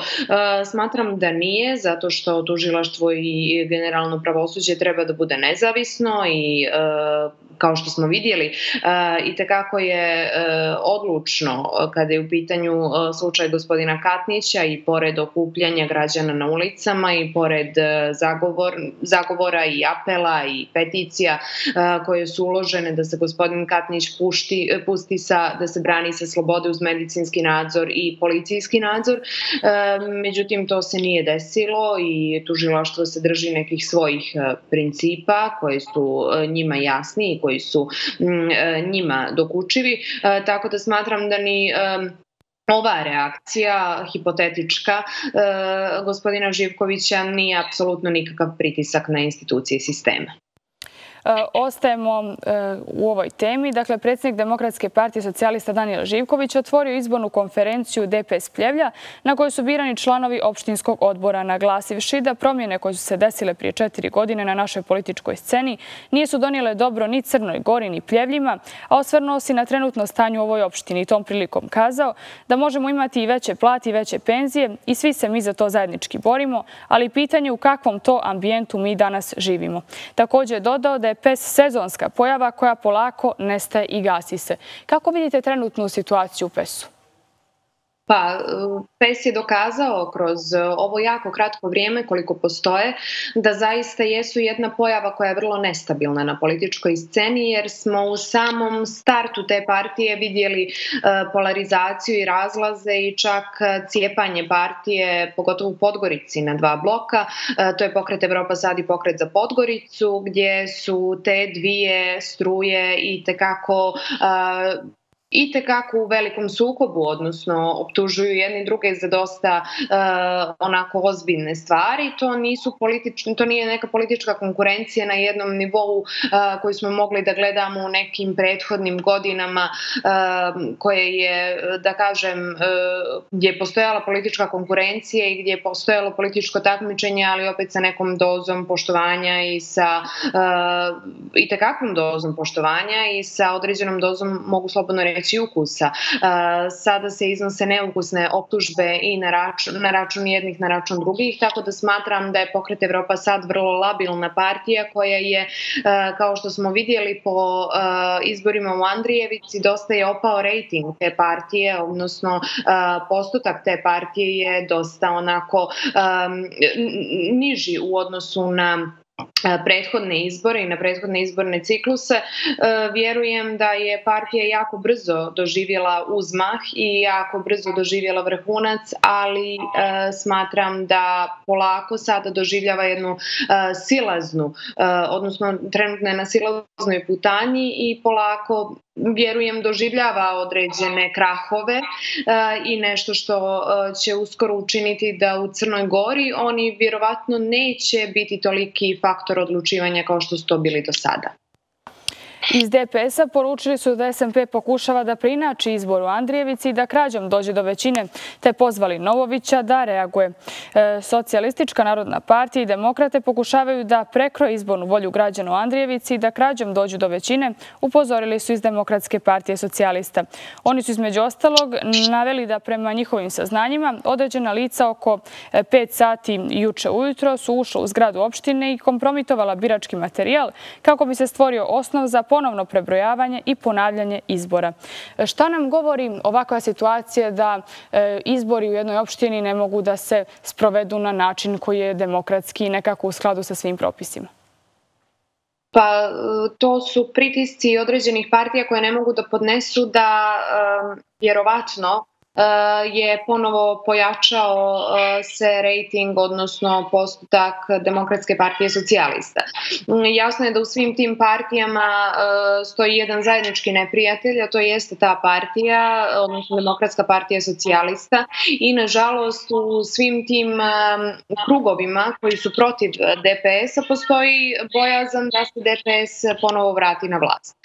Jasno je da je u Andrijevici zaista DPS dobio ogroman broj glasova i da eh, je eh, napravio iznenađenje vjerovatno i za eh, Crnu Goru da se u tom smislu vratio sa mandata u opštini u, u kojoj je donekle bilo izvisno da to možda i neće biti tako. Tako da malverizacija i sve ono što se dešavalo u Niku, da je dosta ali e, današnjim partijama e, da i u tim opštinama rade to kako ne bi došlo do normalnog održavanja e, izbora, jer jednostavno vidimo da u Šamniku još nije, nažalost, riješena situacija baš zbog takvih malverzacija, tako da mislim da se to pokušava uraditi i u Andrijevici. Milojko Spajić optimističan oko Ibara. Nadam se skorom zatvaranju poglavlja. Premijer Milojko Spajić sastao se juče u Briselu sa predsjednikom Evropskog savjeta Šarlom Mišelom, a kako je kazao za televiziju Crne Gore, Mišel je pohvalio rezultate vlade i nada se da će parlament nastaviti da radi na istom fonu kao i vlada. E, da li negdje vidite Crnu Goru kao članicu Evropske unije do 2028. godine kao rok koji e, se negdje e, pominje u medijima i da li smatrate da ćemo za tako kratak period uspjeti da zatvorimo sva poglavlja? Pa ako u utorak dobijemo uh, nenadani uh, dnevni red, odnosno dnevni red koji bude na sjednici uh, donesen direktno, a ne bude predložen u oči sjednice, kako je rekao gospodin Mandić, um, u oči te sjednice zakazivajući je, smatram da genocid o Jasenovcu i ta rezolucija može dosta uticati na naše članstvo u Evropskoj uniji. E, prema tome, e, rezolucija o e, Jasenovcu definitivno će biti jedna prekretnica. Toliko je trenutno snaga u Crnoj Gori koje ne žele da postanemo dio Evropske unije. Prvi je gospodin um, e, Andrija Mandis koji se nalazi na čelu Skupštine um, glavna blokada našem ulasku u Evropsku uniju, uh, ne samo on kao ličnost, već i njegova dijela. Dakle, sve ono što radi, sve ono što sprovodi uh, jesu obstrukcije na evropskom putu i upravo ova rezolucija jeste jedna od takvih obstrukcija. Prema tome, um, ne možemo se nadati da ćemo tako brzo, uh, iako i zatvorimo neka poglavlja, dobiti zelena svjetla od eh, drugih um, zemalja članica, prije svega naše susjedne zemlje Hrvatske koja je uh, na našem uh, proevropskom putu i tekako uzna. Međutim, možemo očekivati slobodno blokade i sa, te, i sa tog aspekta ukoliko pokrenemo dva pitanja koja sam prethodno spomenula, a to je pitanje Jasenovca. Prema tome, gospodin Spajić može biti optimističan, odnosno u diskursu javnom pitanju dobijenja Ibara. Međutim, samo donijeti zakon i prihvatiti ih u kroz našu zakonsku praksu nije jedini put koji odlučuje naše pitanje. Mi možemo i dobiti IBAR, međutim, nakon toga slijedi dosta zahtjevan period da dokažemo Evropskoj uniji i čitavoj zajednici da pripadamo tamo. Međutim, sve dok Crkva Srbije ima toliko, e, toliko upliva u e, vršenje vlasti u Crnoj Gori i sve dok e, imamo ove retrogradne struje u vidu bivšeg demokratskog fronta koji prijeti da uđe u vladu Crne Gore, on definitivno ne postoji, po mom mišljenju, veliki optimizam da postanemo članica Evropske unije do 2028 maternji jezik pao 501 maturant, gdje je nestalo 200 luča. Maturski ispit iz predmeta crnogorski, srpski, bosanski i hrvatski jezik i književnost nije položio 501 učenik, a povećan je broj onih koji imaju loše ocjene. Saopšteno je na jučerašnjoj konferenciji za medije Ministarstva prosvjete, nauke i inovacija. Direktor ispitnog centra Miloš Trivić rekao je da je zabrinjavajuće što ove godine samo oko 100 maturanata koji su iz maternih dobili petice, a da imamo 300 luča. Da li nam ovo ukazuje da imamo ozbilj ozbiljan problem kada je u pitanju obrazovni sistem, s obzirom na to da se one ocjene koje su zaključene u dnevniku nikako ne poklapaju sa rezultatima ispitnih testiranja. Ovo je ključan problem u našem društvu i mislim da od ovoga treba krenuti da bismo uopšte govorili o Evropskoj uniji, o nekom evropskom društvu. Uh, ovdje je krivica, smatram, na oba pola, odnosno i na e, ovom školskom dijelu gdje e, su profesori i uh, učenici, odnosno nastavnici i učenici, ali i na drugom uh, gdje postoji uh, komisija koja sklapa, odnosno izrađuje test za provjeru znanja. Um, sama kada sam polagala eksternu maturu moram priznati da to nisu bila pitanja koja pre testiraju vaše znanje iz e, crnogorskog jezika i književnosti, već dosta testiraju vašu memoriju i to vrlo, vrlo, vrlo onako e, e, da kažem zakulisnih detalja koje kao učenik kroz sasvim jedan normalan misal proces moramo da zaboravimo jer ne mislimo stalno na to i pored obnavljanja nemamo vremena baš toliko i kroz godinu dana do to detalja ponovno sva književna dijela. Ne govorimo o gramatici koja smatram da je mehanizam koji treba naravno da se ispita na, na ovom testu, apsolutno. To je jedna, smatram, i pravila i vještina gdje, koju je jako lako ispitati. Međutim, kada govorimo o pitanjima koje se tiču književnosti, jako su teška, jako su zahtjevna i smatram da nijesu dorasla baš u jedne eksterne mature, odnosno da su ga i tekako premašta i da mislim i da ti koji su na fakultetu i koji se e, bave tom e, materijom književnosti e, možda ne bi u datom trenutku znali da odgovore na njih. Prema tome i sa te strane treba pripaziti malo na pitanja na koji način se formiraju i na kakav način se traže književnim dijelima, jer opet cilj eksterne mature nije baš da do te mjere kontroliše memoriju učenika o određenim književnim dijelima, već da suštinu književnih dijela ispita u tom testu. Sa druge strane, naravno da e, postoji taj disbalans e, između dobijanja ocjena i suštinskog znanja, jer e, danas u našem društvu koliko dijete nema luču, apsolutno se smatra nekim lošim učenjem nekom eh, ili eh, nekim ko eh, nije zavrijedio da upiše fakultet i slično. Međutim, smatram da to treba, tu treba napraviti filter i da jednostavno profesori treba da prije svega i više učenike naravno da budu što bolji u oblastima u kojima ih uče, u kojima ih treniraju, ali sa strane učeniku treba predstaviti realno stanje on nalazi. E, kao što vidite ovdje je 200 luča čak e, da kažemo na neki način izgubljeno, tako da e, jednom ste dali na da je možda nešto savladao i znao, sa te strane kada je došao na pravi svire znanja, koji opet kažem smatram da nije pravi, odnosno smatram da nije uopšte u skladu sa znanjem jednog maturanta, pokazalo se ipak stanje nije takvo i negdje je to razočaranje i za učenika i kasnije za nastavnika. Tako da definitivno treba raditi na ovom sistemu i to je nešto o čemu se govori već posljednjih, čini mi se, 20 godina, da treba raditi na ovom sistemu jer je jako učen, jer je jako nekakvan, časovi su kvalitetni, kadar takođe, čast izuzetima, ali problem je i u kadru. Prema tome, naravno da treba povesti računa o ovim stvarima na mnogo višem nivou. Hvala vam puno što ste izdvojili vrijeme da govorite za budilnik. Hvala puno na pozivu. A sada za sve naše gledalce koji su planirali negdje da putuju, slijedi kratak predah i stanje na putevima.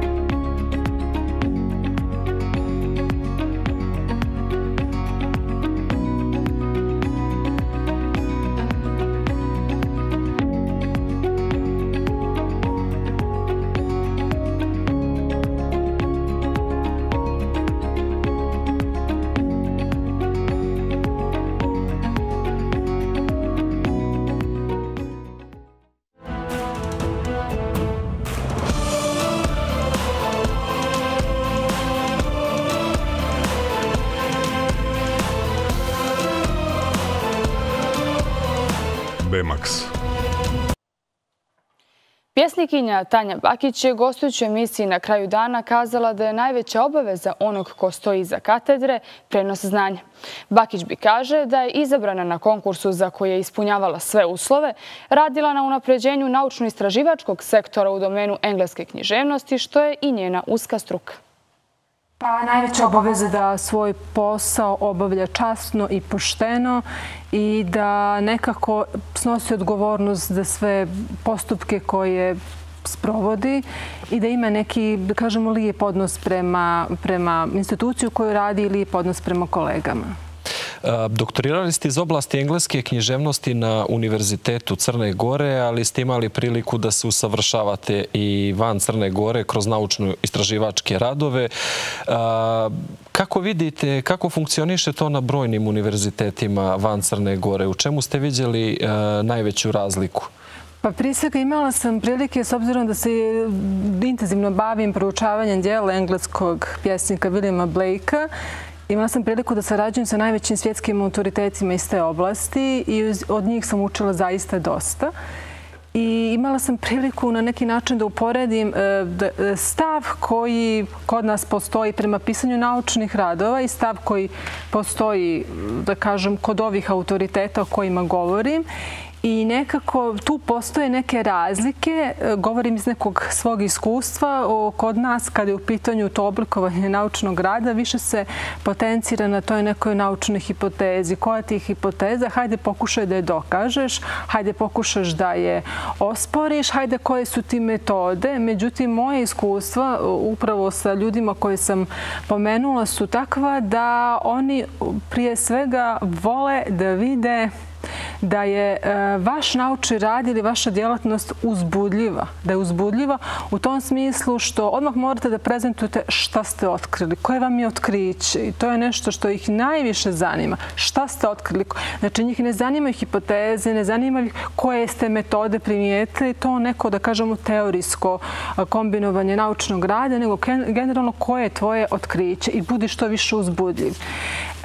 Tako da, naravno, shvatila sam još neke zaista zanimljive stvari. Dva puta sam bila u galeriji Tate Britain u Londonu, isto na na e, naučnom skupu kao govornica i tokom tog drugog naučnog skupa kasnije je uslijedila selekcija radova koji će biti dalje objavljeni i svega je nas osam, e, da kažemo, panelista izabrano da uđe u dalju selekciju za objavljivanje radova i bila je jedna stroga recenzija e, stroga recenzija Morton D. Paley i Morris Eves. Morris Eves koji je skoro, možda prije par mjeseci preminuo i koji je zaista poznat između ostalih aktivnosti po tome što je uredio Cambridge, Cambridgeov eh, Companion to William Blake.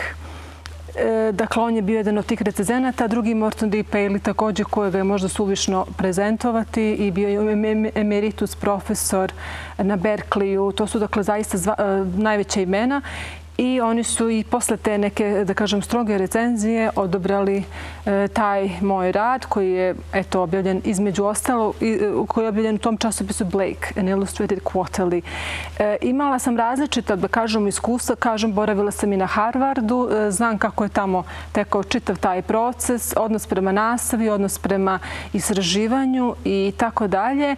Nažalost, mi se ne možemo pohvaliti tome da imamo jake biblioteke, jake bibliotečke fonde. Uvijek nešto fali. Kad god krenete da istražujete, e, dobijete milion drugih ideja šta bi mogao dalje da istražujem, koje naučne radove da iščitam, koje knjige dodatno da pretražim i toga nekako uvijek fali u našim bibliotekama. Prema podacima Uprave za statistiku Monstat, stanovništvo Crne Gore najviše napušta Zetu, Bilo Polje, Nikšić i Pljevlja. Od 25 crnogorskih opština prirodni prirašte negativan u čak 17. U prva četiri mjeseca ove godine najviše građana napustili upravo Zetu. A ono što je zanimljivo je da stanovništvo napušta Zetu iako su prosječne zarade u toj opštini među najvećima u državi. Zaprili iznosila 888 eura. Na ovu temu razgovarat će naš Luka sa predsjednikom opštinskog odbora DPS Zeta i dugogodišnjim predsjednikom opštine Golubovci Dušanom Radonjićem. Tako je, Andreja. Mi ćemo baš vidjeti od Dušana Radonjića šta je uzrok ove statistike. Da počnemo. Dobro jutro i hvala što govorite za budilnik. Dobro jutro i vama i vašim gledalcima. E, za početak bih vas pitao šta mislite da je uzročnik e, statistike, to jest pitao bih vas e, koliko mislite da je tačna statistika koju je Monstat radio povodom iseljavanja ljudi iz ETA? Pa evo, iskreno da vam kažem, ovaj, možemo da razmišljamo o, tačnosti ove statistike, ozbiljno, obzirom da prvi put mjeri tu jednu kategoriju statističku ovaj, u Zeti samim tim što je Zeta odskoro postala punopravna opština. Mm, s druge strane, e, obzirom da imam višegodišnje iskustvo ovaj, u dijelu e, rukovođenja rukovodđenja zetom, e, znam da sam profesionalno ovaj, pratio ono što je e, što su demografski podaci kad je Zeta u pitanju i dugo godina smo zaista bili ponosni na činjenicu da se e, Zeta intenzivno doseljava, odnosno naseljava ljudima sa strane, kao vrlo poželjna destinacija. I Zeta je dugo godina bila jedna od rijetkih opština ovaj, u Crnoj Gori koja je imala e, pozitivan prirodni priraštaj. Tako da ukoliko su ovi podaci tačni, onda je to zaista visoko zabrinjavajuće za i državu i lokalnu upravu, rekao bih ipak više za lokalnu upravu i to je crveni alarm koji podrazumijeva neko djelovanje. Međutim, onako kako ja to vidim sad iz ovog ovaj, ugla, mislim da ovi statistički podaci nisu proizveli nikakvu reakciju ovaj, lokalne uprave i da e, lokalna uprava prosto ne zna na koji način da se bori sa tim problemom. A šta vi mislite da bi bilo rešenje? S obzirom da je Zeta mlada opština koja se i dalje izgrađuje, da, da li je to neko poboljšanje infrastrukture i privrede u narednom periodu koji bi eventualno privukao ljude da se još dodatno doseljavaju? Pa reći ću vam da je u dijelu e, statistike Zeta u ovom trenutku u e, društvu sjevernih opština koje decenijama unazad bilježe negativne trendove kad je demografija u pitanju, a da po pitanju infrastrukture mnogo je naprednija od jednog većeg broja tih lokalnih uprava. Znači, što se tiče onoga što je učinak prethodnog ovaj perioda, ja ću vam reći samo da sam, recimo, za nekih devet i pol godina, dok sam ja bio predsjednik opštine, eh, da je u Zeti uloženo preko 65 miliona eura direktnih investicija u infrastrukturu. Otvorili smo nove škole, nove vrtiće, putnu, saobraćajnu infrastrukturu, odradili vodovod za cijelu zetu, e, da ne pričam sve ono što su manji, da kažemo, infrastrukturni zahvati i e, učinjeli zetu mnogo poženijom destinacijom ovaj, za život i mnogo bolje konektovanom sa svim ostalim ovaj, gradovima, pogotovo Podgoricom na koju smo se ovaj, naslanjali. Tako da mislim da infrastruktura u tom dijelu nije toliko neophodna, koliko je recimo neophodno obratiti pažnju na e, razvoj poljoprivrede koji je ovdje dominant. Lokalna uprava nema skoro nikakve programe stimulativnih ovaj, mjera ili to što ima nije dovoljno da ljude motiviše da nastave da se bave ovaj poljoprivredno. Već ljudi traže e, izlaz na neki drugi način kroz ono što su, norm, što su moderni trendovi ovaj, u Crnoj Gori, nažalost, a to je e, jedno besomučno, bespotrebno gomilanje administracije, svi jure negdje da zauzmu nekakvu poziciju u tom dijelu, to se isto dešava i ovdje.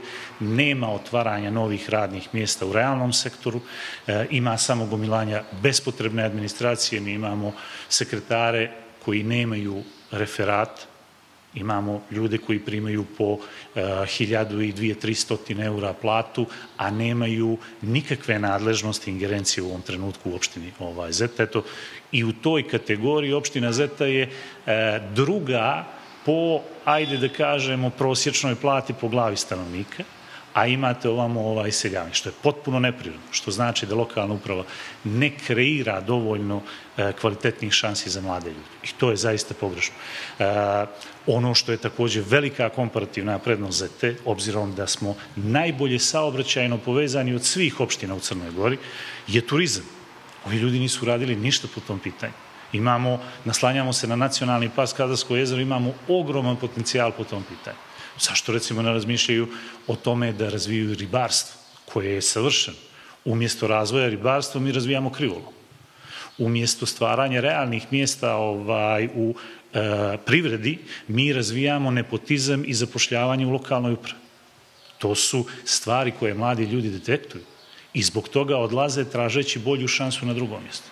Da li mislite da bi rješenje tih problema naročito tako stimulisanje privrede, stvaranje novih radnih mjesta kao i stimulisanje poljoprivrede privuklo ljude s obzirom da mi često imamo paradoks da ljudi koji su cijelog života živjeli u strogo urbanim sredinama stalno pričaju kako bi pošli negdje da se bave poljoprivredom ili kako bi tražili svoj mir u nekoj možda manjoj urbanoj sredini, dok se druge strane neki mladi ljudi a, koji možda imaju uslova za poljoprivredu kad bi bili stimulisani idu u neke druge malo strožije urbane sredine. Pa vjerujte, evo, obzirom da sam se dugo bavio, a zadnji moj angažman je bio vezan ovaj, za poljoprivredu, reći ću vam da e, mladi ljudi traže bolje uslove za život. Čak ne nužno i to da to bude nekakva priča koja podrazumijeva kancelarijski posao. Ukoliko vi njima ponudite e, dovoljno kvalitetnu povratnu informaciju u smislu, u smislu finansijskih ovaj, benefita, oni nemaju nikakav problem da se vrate ovaj poljoprivredi umjesto da je ZET regionalni ovaj centar poljoprivrede, umjesto da imamo najbolje stimulativne mjere e, na lokalnom nivou za razvoj poljoprivrede, kako bi nadomjestili ogroman deficit koji imamo u domaćoj proizvodnji na suprot uvoza ovaj hrane, mi e, e, stimulišemo e, pogrešne stvari kao što su e, nakupci koji dolaze da za vrlo niske vrijednosti odkupe domaći proizvod od e, e, poljoprivrednika i zarade duplo više ovaj preprodaje. E, to je pogrešno. Znači, mora da se stimuliše domaća proizvodnja i moraju da se stvore realne pretpostavke za razvoj ekonomije, a ne ove moderne koncepcije koje su isključivo potrošačke vi imate opet statistički podatak koji kaže da su se cijene u Crnoj Gori u poslednje četiri godine povećale preko 200%, a plate tek nešto više od 40%. I vi imate u ovom trenutku izazov za mlade ljudi koji kažu mi ovdje ne možemo da živimo. Naši roditelji više ne mogu da nas ova izdržava i traže neke srećnije destinacije. Opet naglašavam činjenicu. Bio sam predsjednik opštine od 2009. do 2018 i bilježili smo statistički stalno pozitivne trendove u dijelu doseljavanja. Imate cijelo naselje ovaj Balijače sa preko 250 domaćinstava koje je naseljeno u tom periodu. To nisu ljudi domicilno izete. Svi su sa sjevera. Zašto dolaze ovdje? Zato što je ova e, e, sredina poželjna, a ne zato što ovaj, i, i malo je dovoljno šansi da se može e, kvalitetno zasnovati porodice ovdje i živjeti te šanse su svaki dan ovaj, sve manje. I to je veliki problem i ozbiljan alarm za ovu lokalnu upravu. Moram pristrasno da kažem kao i sami Zećanin da se nadam da će se to promijeniti. Ja vama hvala što ste odgovorili i što ste pristali da razgovarate s nama i odvojili vrijeme da pričate za budilnik.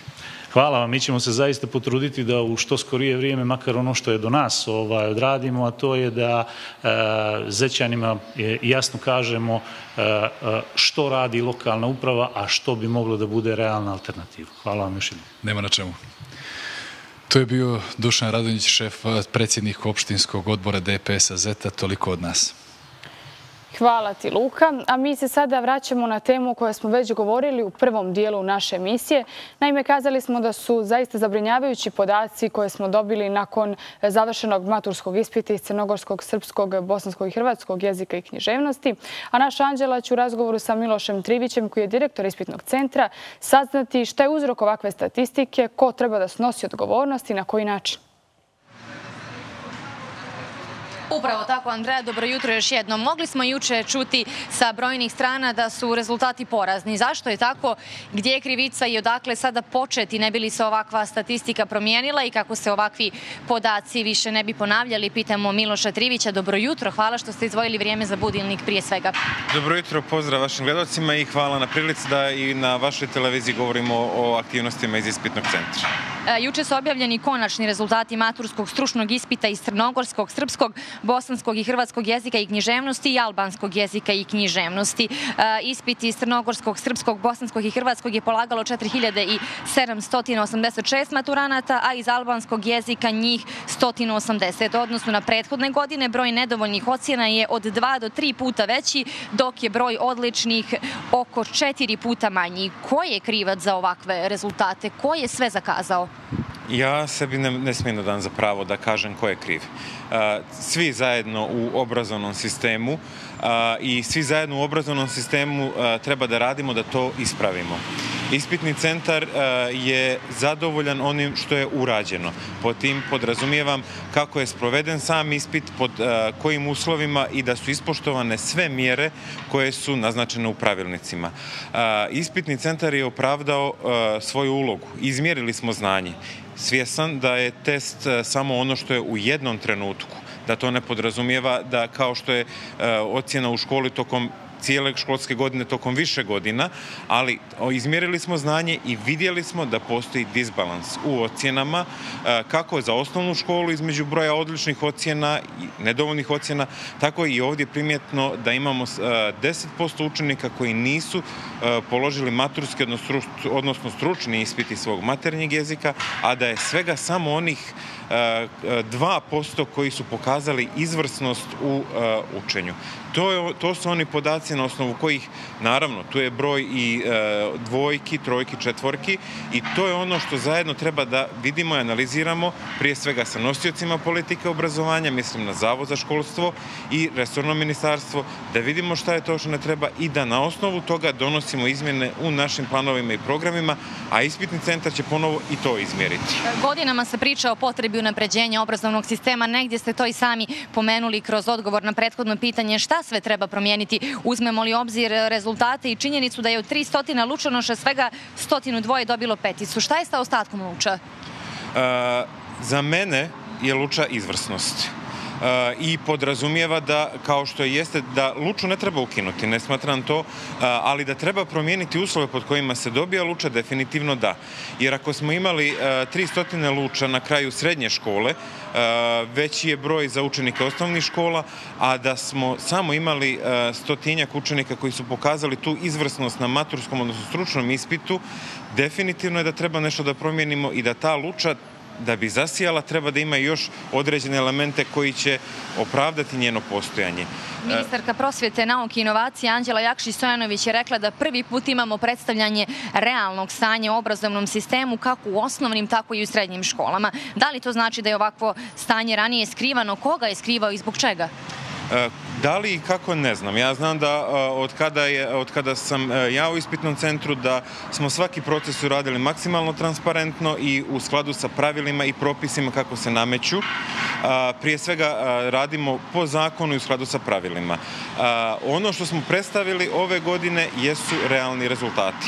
A To nam je obezbijedilo poštovanje pravila, donošenje novih pravilnika i oni famozni detektori koji su omogućili da, da nemamo zloupotrebe uh, od strane učenika sa uh, elektronskim uređajima i mobilnim telefonima. A kada govorimo o kontroli, da li su kontrola i strožije mjere samo dodatno istakle problem zloupotrebe od strane džaka prilikom polaganja ispita i činjenicu da izgleda još uvijek lakše prepisati nego sjesti i naučiti? Ove godine smo pokazali da te zloupotrebe nisu moguće više na ispitima i neće biti u narednom periodu. A vjerujem da smo iz ovoga naučili svi lekciju, kao što smo svi naučili lekciju iz prošlogodišnjeg iskustva i godinama unazad, da ćemo se posvetiti učenju i nastavi i da ćemo dolaziti na ispit samo sa znanjem. E, kada je riječ o maloj maturi, 264 polumaturanata dobila su jedinicu iz Crnogorskog, Srpskog, Bosanskog i Hrvatskog, a ispit je polagalo 5997 učenika. Što se tiče matematike, na kraju osnovne škole 187 njih koji su imali jedinicu, a na provjeri znanja čak 1244. Negdje smo i malo čas kazali da je zaista statistika alarmantna. Kako je mijenjati? Već ste naveli određene mjere koje je potrebno ovaj, pokrenuti šta je možda prvi korak? Prije nego što govorim na to, moram samo da pohvalim, pošto negdje smo se svi fokusirali sad na ove loše rezultate. Moram da pohvalim dobre rezultate koje ove godine imamo na, u osnovnoj školi iz engleskog jezika. Tu su učenici i definitivno pohvali i za učenike i za nastavnike engleskog jezika gdje su pokazali bolji rezultat i bolje ocjene u odnosu na prethodni period.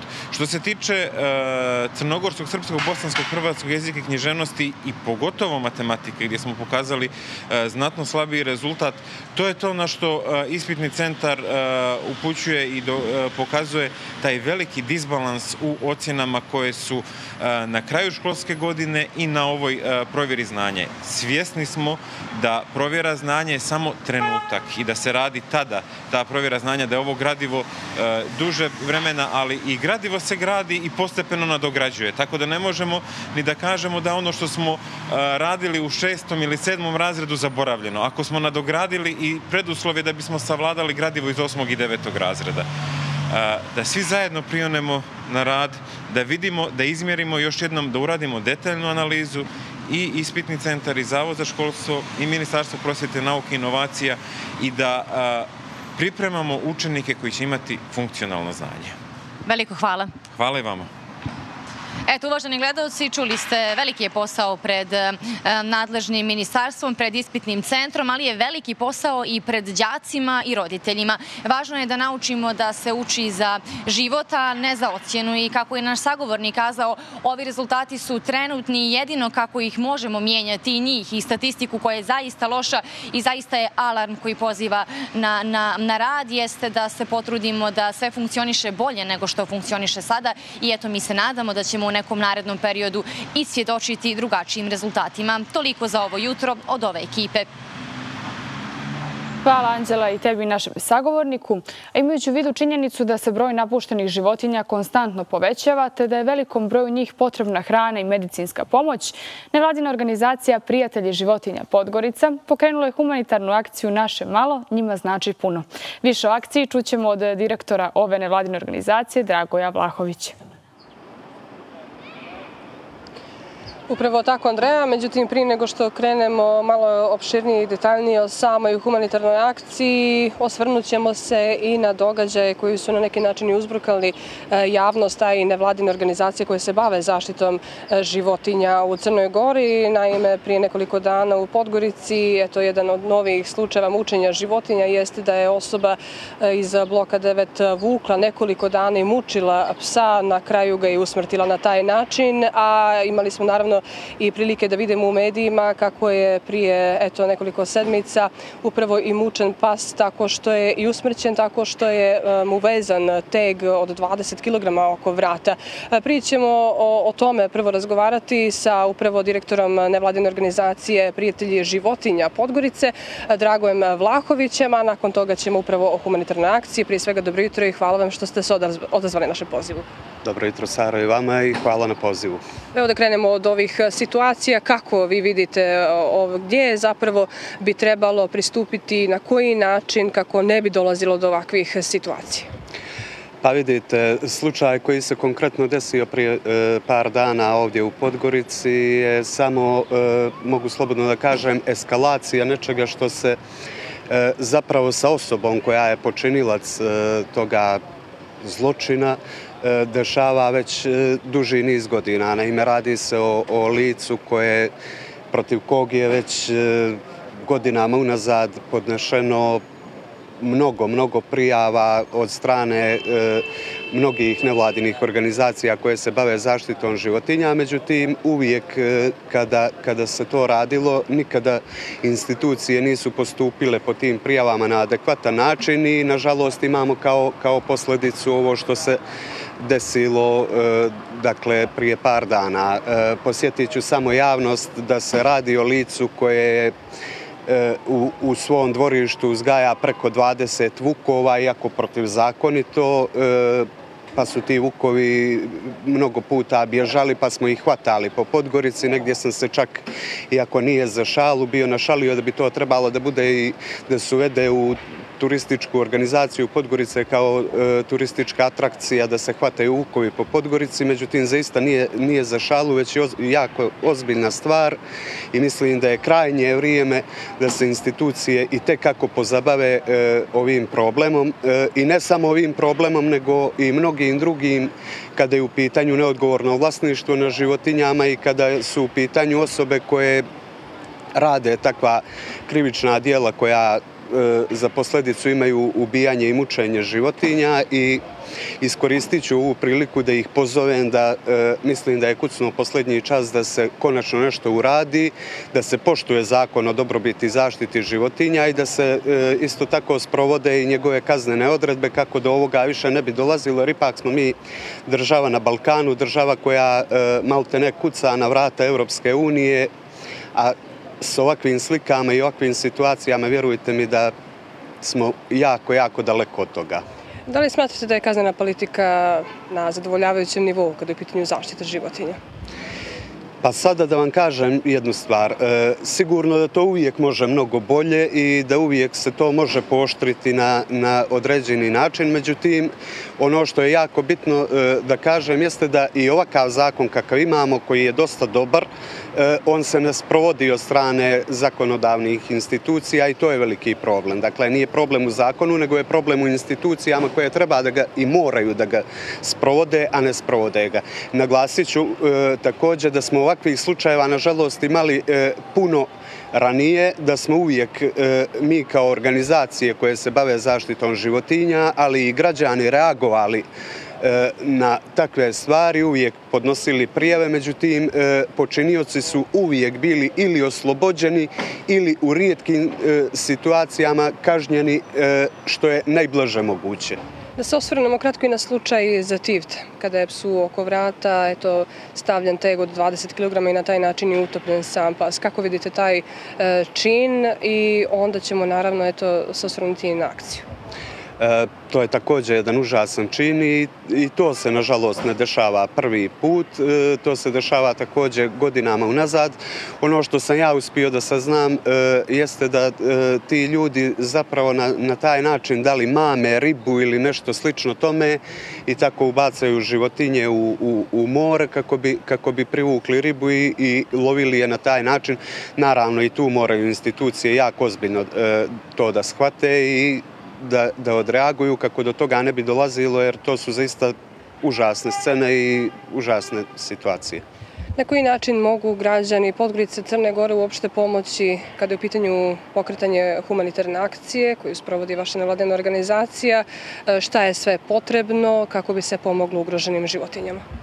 E, građani prije svega e, mogu da pomognu ne samo e, kontaktirajući naše organizacije, nego jednostavno, pošto nam se bliži ljeto, idu toplije dani da iznesu vodu i hranu za napuštene životinje ispred svojih stanova, kuća, a također mogu i da se obrate nama, da posredstvom naše organizacije ili bilo koje druge organizacije e, pomognu napuštenim životinjama. Također mogu e, nas pronaći na društvenim mrežama Facebook, Instagram i na taj način se informisati o, o humanitarnoj akciji koju smo pokrenuli i nadam se da će, da će e, odaziv građana biti zadovoljavajući jer zaista je potrebno, e, imamo jako veliki broj napuštenih životinja o kojima nažalost e, ne brinu oni koji bi trebali nego brinu e, volonteri i građani i samim tim e, potrebna je e, velika pomoć, a želim i to da naglasim da organizacije koje se bave zaštitom životinja malte ne nemaju nikakvu pomoć od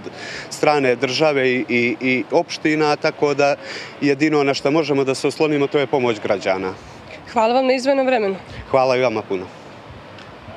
Uvaženi gledalci, čuli ste u suštini naš zakon, to jest zakon Crne Gore, jeste na zadovoljavajućem nivou po eto, mišljenju svih naših sagovornika ovog jutra. Međutim, vrijeme da se počne i taj zakon sprovoditi. E, toliko od ove ekipe za sada. E, vidimo se nekom drugom prilikom. Hvala Saru i tebi našim sagovornicima. Toliko za danas od ove ekipe. Nadamo se da smo vam pružili korisne i zanimljive informacije. A isto to od nas možete očekivati i sutra. Do tada ostanite uz program televizije ER. Slijedi presjek najvažnijih vijesti do 9 sati, a zatim je emisija Srećan dan. Doviđenja.